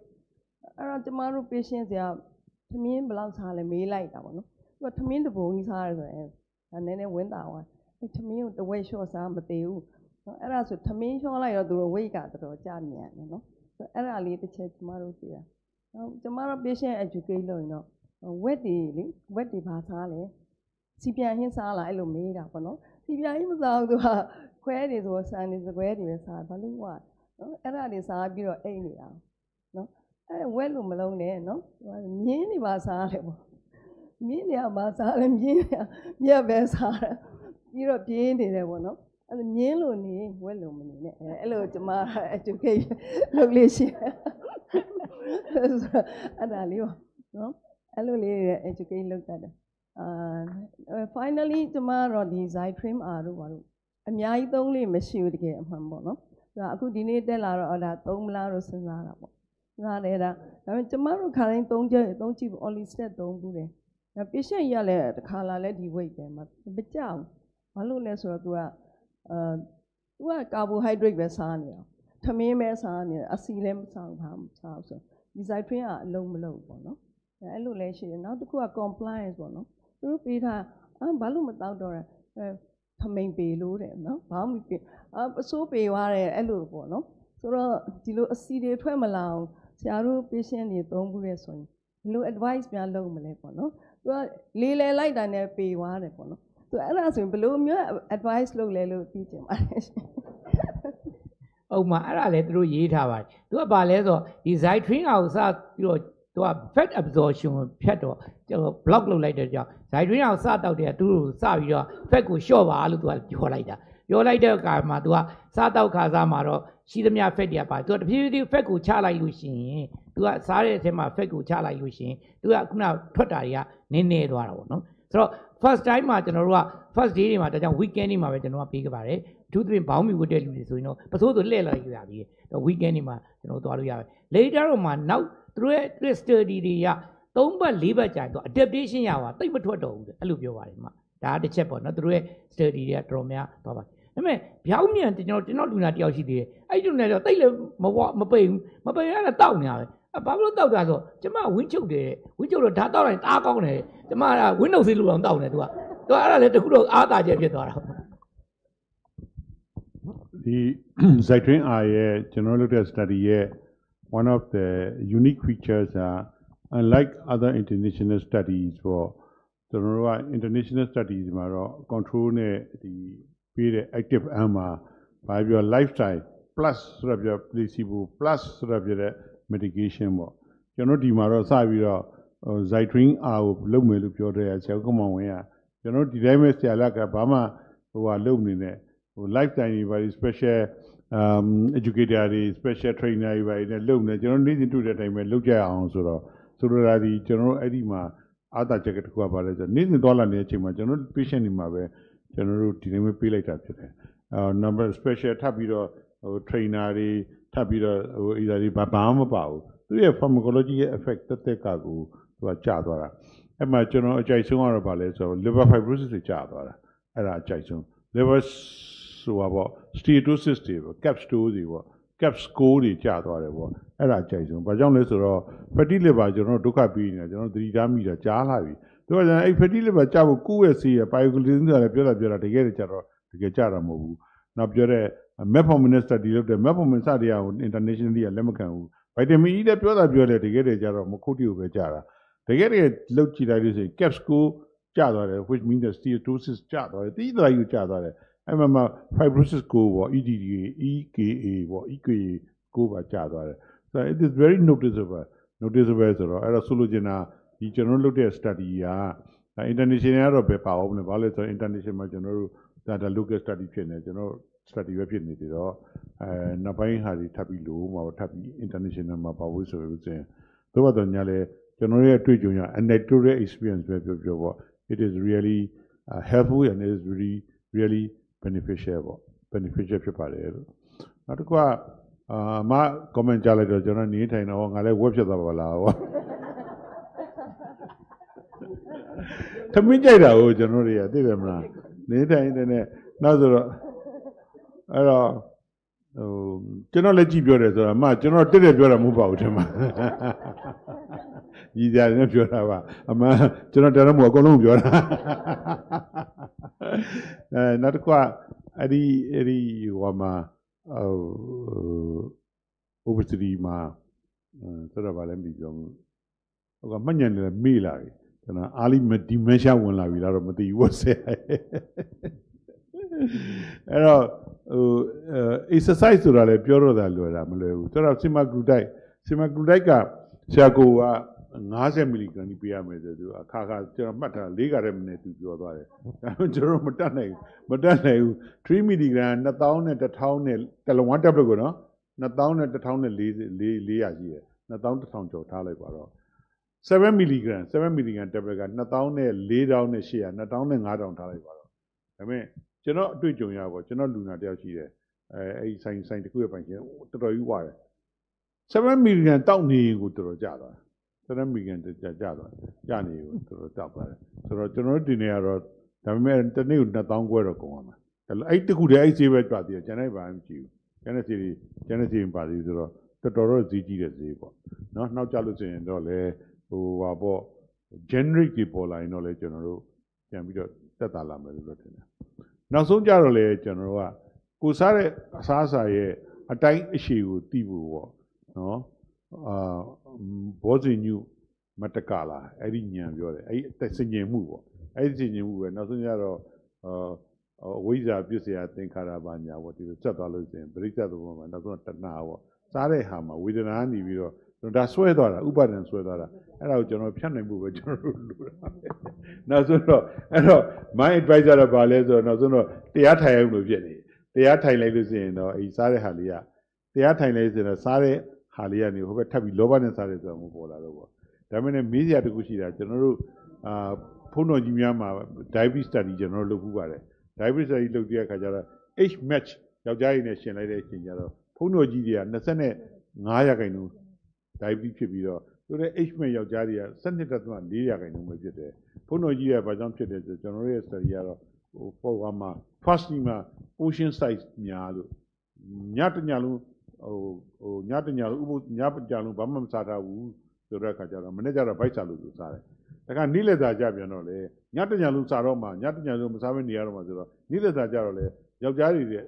H mesh ယောက်ျားတွေတဲ့ဆိုင်ပူပြီးတော့စားတယ်စားလိုက်တော့အဲ့နှစ်ခုကြောင့်သူက portion size ကများတယ်နောက်တစ်ခုက physical activity ကသိတာတယ်ကျောင်းမှာဝါစင်လိုက်ကြည့်လိုက်လို့ကိုရင်ဘွားနေပြီးတော့ဦးစင်းငယ်ဘွားနေပြီးတော့တိုက်ဟုတ်ဘွားပေါ့စာတင်သားတိုက်ဟုတ်ဘွားနောက်ပြီးတော့ပြ ရာထူးကြီးလာလေကြီးလာလေကြီးလာလေဆရာတော်ကြီးကလှူရှားမှုနည်းလေနည်းလေတွေပဲလာမြတ်တကယ်မာတွေကိုဒကာတွေဒကာမတွေကိုထိုင်ပြီးတော့တရားဟောရင်ဟောမယ်မဟောရင်ထိုင်ပြီးတော့မင်းမြောက်ရှူထိုင်ပြီးတော့ဖြေမယ်ထိုင်တာတွေပဲဖြစ်တော့တယ်ငယ်စဉ်ဘဝတုန်းကတော့ကျောင်းမှာသက်ချင်းလုပ်တဲ့ပါညာပေါ့ physical activity နေသွားတာအဲ့တော့ this is a good example physical activity နေခြင်းနဲ့ portion size များခြင်းပေါ့နောက်တစ်ခု carbohydrate နဲ့ပတ်သက်လို့စောစောပြောတဲ့အမပြောတဲ့ဝက်တီဖြစ်သွားတယ်ဆိုတဲ့ကြမှာကမ္ဘာမှာ study တစ်ခုလုပ်ထားတာရှိတယ်လုပ်ထားတဲ့ study ကပါလဲဆိုတော့ကမ္ဘာလုံးမှာရှိမြ food patterns ကိုကိုယ်လေ့လာတဲ့အခါမှာ carbohydrate စားအများဆုံးသောတိုင်းပြည်အထူးဖြင့်ဆို rice အစားအများဆုံးသောတိုင်းပြည်ဒီ cardiovascular death အများဆုံးပဲဆိုတော့ကျွန်တော်နိုင်ငံဒီကမ္ဘာမှာ one of the uh, country with the highest consumption of carbohydrate အများဆုံးစားတဲ့တိုင်းပြည်ဖြစ်နေအဲ့တော့ဆောရပြောတဲ့ဆရာကပြောတဲ့ low carbohydrate carbohydrate ပေါ့လူတွေအာတော်တော်များကျွန်တော်တွေ့ပူတယ်ကျွန်တော်တို့စအတီးတဲ့မကဝါတယ်အခုတော့အနည်းငယ်တော့ပိန်သွားတော့ဗာရမ်းပိန်တယ်လို့မပြောပါဘူးအနည်းငယ်တော့ပိန်သွားတယ် ကျွန်တော်ဘောမီ42ပဲပါတယ်ကျွန်တော်အခုဆိုလို့ရှိရင်တော့ကျွန်တော်အခု38ကိုလည်းချောင်းပါတယ်နောက်ဟိုအေးအေးအေးအင်ဂျီဆိုရင် double XL လောက်ဝတ်တယ်ပေါ့နော်နောက်ပိုင်းကျအခုဆိုလို့ XL အခုဆိုတော့မနေ့ large လောက်မနေ့တော်လာတဲ့သဘောရှိတယ်နည်းနည်းတော့နောက်ဆုံးတော့ဗာလဲဆိုတော့မနေ့ဆိုရင် carbohydrate လုံးဝမစားဘူး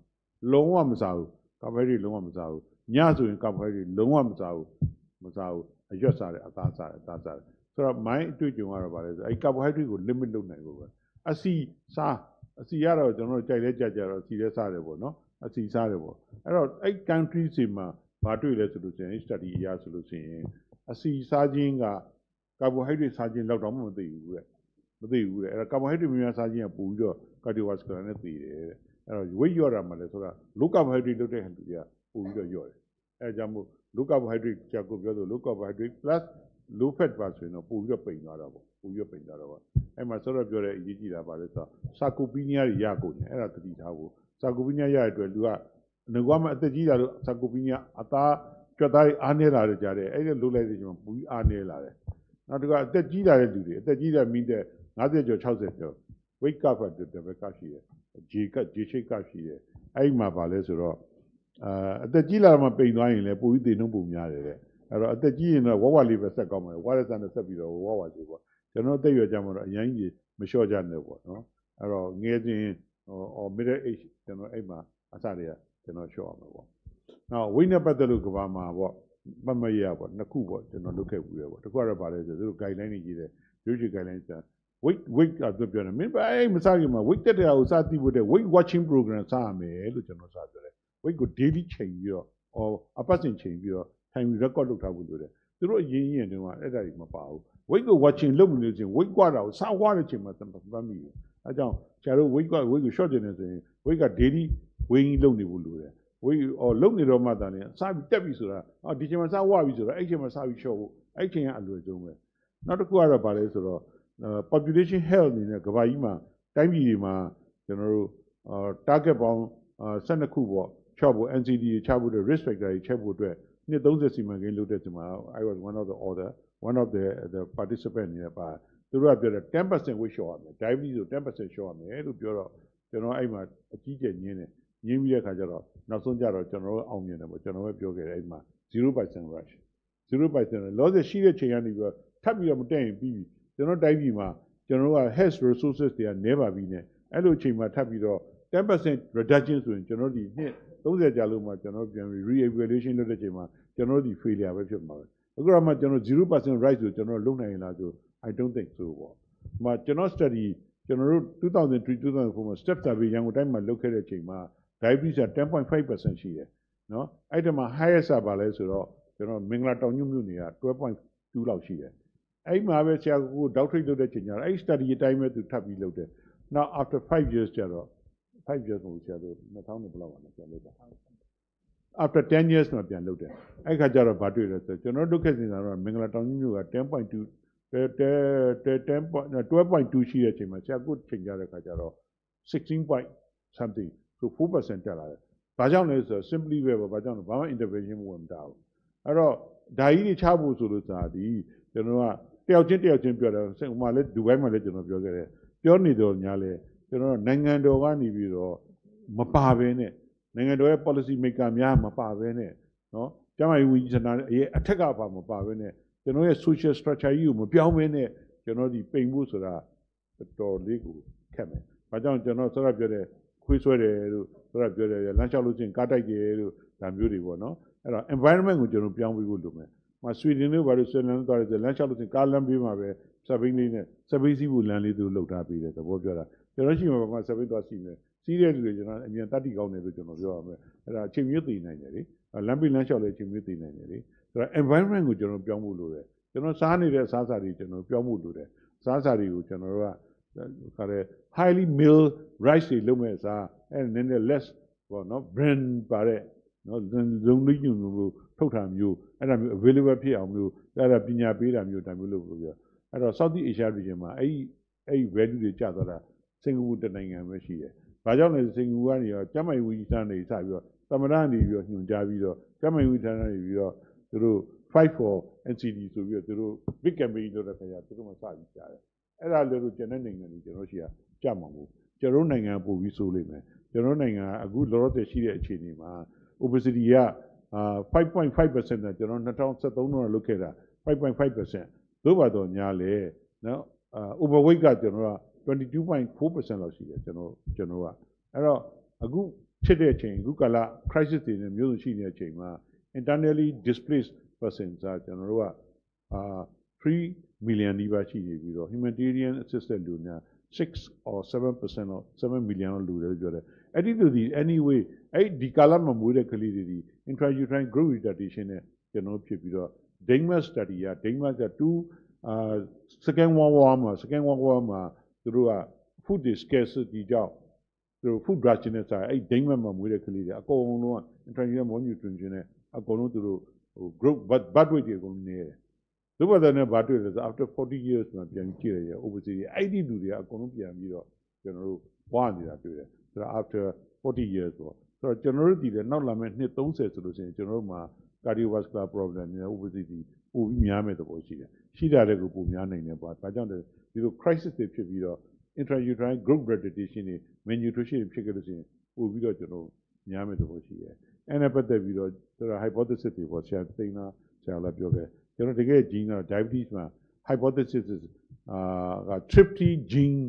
hypothesis ဆိုတာရှိတယ် and tryptophan gene phenotype ဆိုတာရှိတယ်အဲ့တော့ဘာလဲဆိုတော့အစာစားစားမရှိတဲ့ချိန်မှာအစာစားရှားတဲ့ချိန်ကြလို့ရှင်တော့တကယ်လိုအပ်တဲ့နေရာမှာပဲလူကသုံးတယ်ပေါ့ အစာမစားလို့ပိုလာတဲ့ချိန်ကြတော့နောက်ဆုံးကြတော့အဲ့ဒီဆိုတော့ပြောတဲ့အများကြီးပေါ့အများကြီးအများကြီးစားပြီးပိုတဲ့ဟာတွေကဆိုတော့ပြော brown fat ကနေပြီးတော့ white fat ကြီးဖြစ်သွားတယ်ဆိုတာအဲ့ဒါ gene hypothesis gene hypothesis မှာ tryptophan gene ကို genotype နဲ့ genotype နဲ့ genophenotype အဲ့ဒီနှစ်ခုပေါ်မှာမူတည်တယ်ပေါ့အဲ့ဒါကိုဘာနေပြီးတော့အထောက်အကူပြုတယ်ဆိုတော့ genome wide study ပေါ့နော် genome wide genetic study လို့ပြောတယ်အဲ့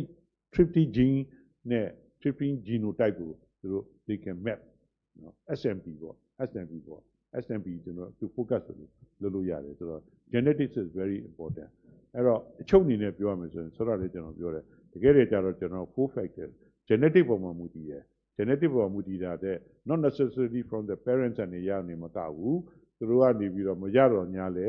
အဲရတော့ညာလဲ environment မှာကျွန်တော်ပြောင်းလဲနေတဲ့နိုင်ငံမဝနိုင်ဘူးဆိုတော့ယောဂတွေမဖြစ်နိုင်ဘူးဆိုတော့ကျွန်တော်လည်း genetic မပါဘူးတော့ environment မှာ obesogenic environment ဖြစ်နေရင်ကျွန်တော်တို့ gene တွေ eventually they they they will change to epigenetic ပေါ့ methylation process DNA expression မှာ methylation process ဖြစ်ပြီးတော့ epigenetic change ဖြစ်နေတဲ့အတွက်ကြောင့်မလို့ gene မပါတဲ့လူတွေလည်းဝနိုင်တယ် gene ပါတဲ့လူတွေဒီလည်း environment ပြောင်းလို့ရှိရင်မဝပဲနေနိုင်တယ် test အဲ့ environment မှာပြောင်းတဲ့ချိန်ကျတော့နောက်ဆုံး that lead to the behavior change ကျွန်တော်ပြောတာ sleep pattern တွေ inversion တွေဖြစ်ကုန်တယ် sleep timing တွေ miss timing တွေဖြစ်ကုန်တယ်ကျွန်တော်ထိုင်းတာတွေသူတို့အိတ်တဲ့ချိန်တွေဒီကျွန်တော်တို့ inadequate တွေဖြစ်ကုန်တယ် auto မှာအရန်အိတ်တာတွေဖြစ်ကုန်တယ်အဲ့လို behavior change ဖြစ်သွားပြီးတော့နောက်ဆုံးခန္ဓာကိုယ်ထဲမှာ biological change ဖြစ်ပြီးတော့သရပြောတဲ့ ghrelin တို့ adiponectin တို့ glucagon တို့ GLP-1 တို့အဲ့ဒါကြီးအကုန်လုံးကြောင်းကပြန်နေအကုန်လုံးဖြစ်ကုန်တယ်ဖြစ်ကုန်တဲ့နောက်ဆုံးကျတော့ obesity ဖြစ်ကုန်တယ်ဆိုတော့နောက်ဆုံးတော့ loss ရဲ့ chronic diseases model မှာလက်ခံထားတဲ့ရဲ့ရဲ့ theory ကတော့ဆိုတော့လေးခုပဲ genetic environment behavior and the biology ပဲအဲ့လေးချက်ပဲအဲ့ဒါကိုလုပ်ဖို့ဆိုရင်ကျွန်တော်ဒီ intervention လုပ်တဲ့ချိန်မှာကျွန်တော်စီးဆရာဝန်များကိုယ်တိုင်ဒီကျွန်တော်ဘယ်လောက်လုပ်နိုင်မလဲ treatment ပဲကျွန်တော် end user အဆက်အနောက်ပဲရှိတယ်အဲ့လေးခုလုံးပြောင်းမှုစီစီ policy maker စီနဲ့တိုင်းပြည်တစ်ခုလုံးကြီး structure change ဖြစ်မှသာနေရမယ်လို့ဒါလေးပြောတာအဲ့တော့အ ਨੇ ဆုံးတော့ကျွန်တော်တို့အနေနဲ့ကတော့အ ਨੇ ဆုံး behavior change နဲ့ environment change ဆိုတော့ကိုယ့်အိုက်ကိုတောက်ချင်းရတော့လုံးမသာလင်တကယ်တည်းသောရပြောတယ်မပြောတဲ့ ဝက်ဘွားနေပြီးတော့ဟိုမြင်းဘွားပြအောင်လုံးမှာပဲအဲ့လိုလုံးမှာပဲအဲ့လိုပါပဲဖြစ်လိမ့်မယ်လို့ဒါတော့ it is this is just my intervention ပေါ့နော်အဲ့တော့ thank you for your kind attention ပေါ့အဲ့တော့ to wrap up နေနေဆိုတော့ because it's been uh, a while already ဆိုတော့ကျွန်တော်တို့ online ကတက်တဲ့လူတွေရောကျွန်တော် in person တက်ကြတဲ့လူတွေရော in particularly ဆိုဆရာကြီးဥက္ကမောင်ကြီးနော်ဆရာကြီးဝေးအောင်မမတော်တန်ကြီး ကျွန်တော်မမတော်ဝင်းမြင့်နဲ့ကျန်တဲ့ professor များဆရာများအားလုံးကျွန်တော်အထူးပဲကျေးဇူးတင်ပါတယ် each and everyone ဟိုကျွန်တော်အနေနဲ့ကျေးဇူးတင်ပါတယ်လို့နော်ဆရာတို့ရဲ့အချိန်အတွက်ကျွန်တော်ကျေးဇူးတင်ပါတယ် active listening active participation တွေကျွန်တော်ကျေးဇူးတင်ပါတယ် now ဒီအဲဒီဒီပွဲမှာဆိုတဲ့အတိုင်းပေါ့ very informative talk very ဟိုခါလေလူစိတ်ဝင်စားအောင်လို့ပြောနိုင်ကြတဲ့ speaker တော့ကလို့ねကျွန်တော်အနေနဲ့ Congratulations လုပ်ပါတယ်ကျေးဇူးလည်းတင်ပါတယ်လို့နော်နောက်တစ်ခါတတ္တိကတော့ဒီပွဲကိုစီစဉ်ပြီးတော့ကျွန်တော်တို့ Zaitis Katila ကိုပဲသူတို့စီ Zaitin MR ကိုကြော်ညာဖို့လုပ်တာမဟုတ်ပါဘူး we just want to disseminate the the the information. ကျွန်တော် information လုပ်ချင်တာပဲဖြစ်ပါတယ်သုံးချင်းမသုံးချင်းကတော့ဒါဆရာတို့ရဲ့ up to your own discretion at your own disposal at your own discretion. အနေဖြစ်ပါတယ်လို့ last but not the least နေရတော့ဆရာပြောတယ်ဒီမှာ internet နဲ့ internet video. နော် conferencing တွေပါတွေကို စီစဉ်ပြီးတော့ internet အဖွဲ့ကိုအထူးပဲကျေးဇူးတင်ပါတယ်။နေရာထိုင်ခင်းအစားအစတွေအစီအပြောင်းစီစဉ်ပြီးတော့ကျွန်တော်မယ်လီယာရဲ့ manager နဲ့ staff များကိုလည်းအားလုံးကျေးဇူးတင်ပါတယ်ပြောရင်လည်းဒီပွဲကိုကျွန်တော်အနေနဲ့ညီကုန်းချုပ်ပါတယ်ကျန် thank you very much ပါ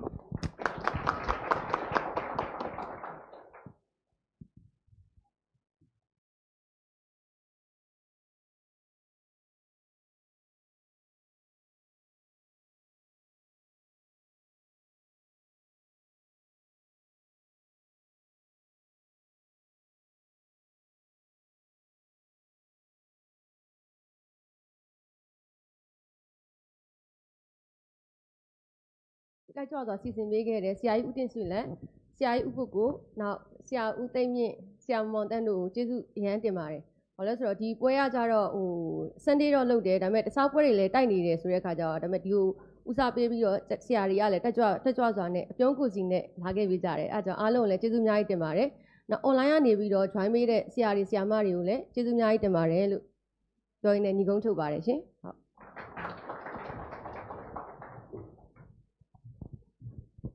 May I invite Mr. Gusha for giving appreciation gift to our respected chairperson and speaker.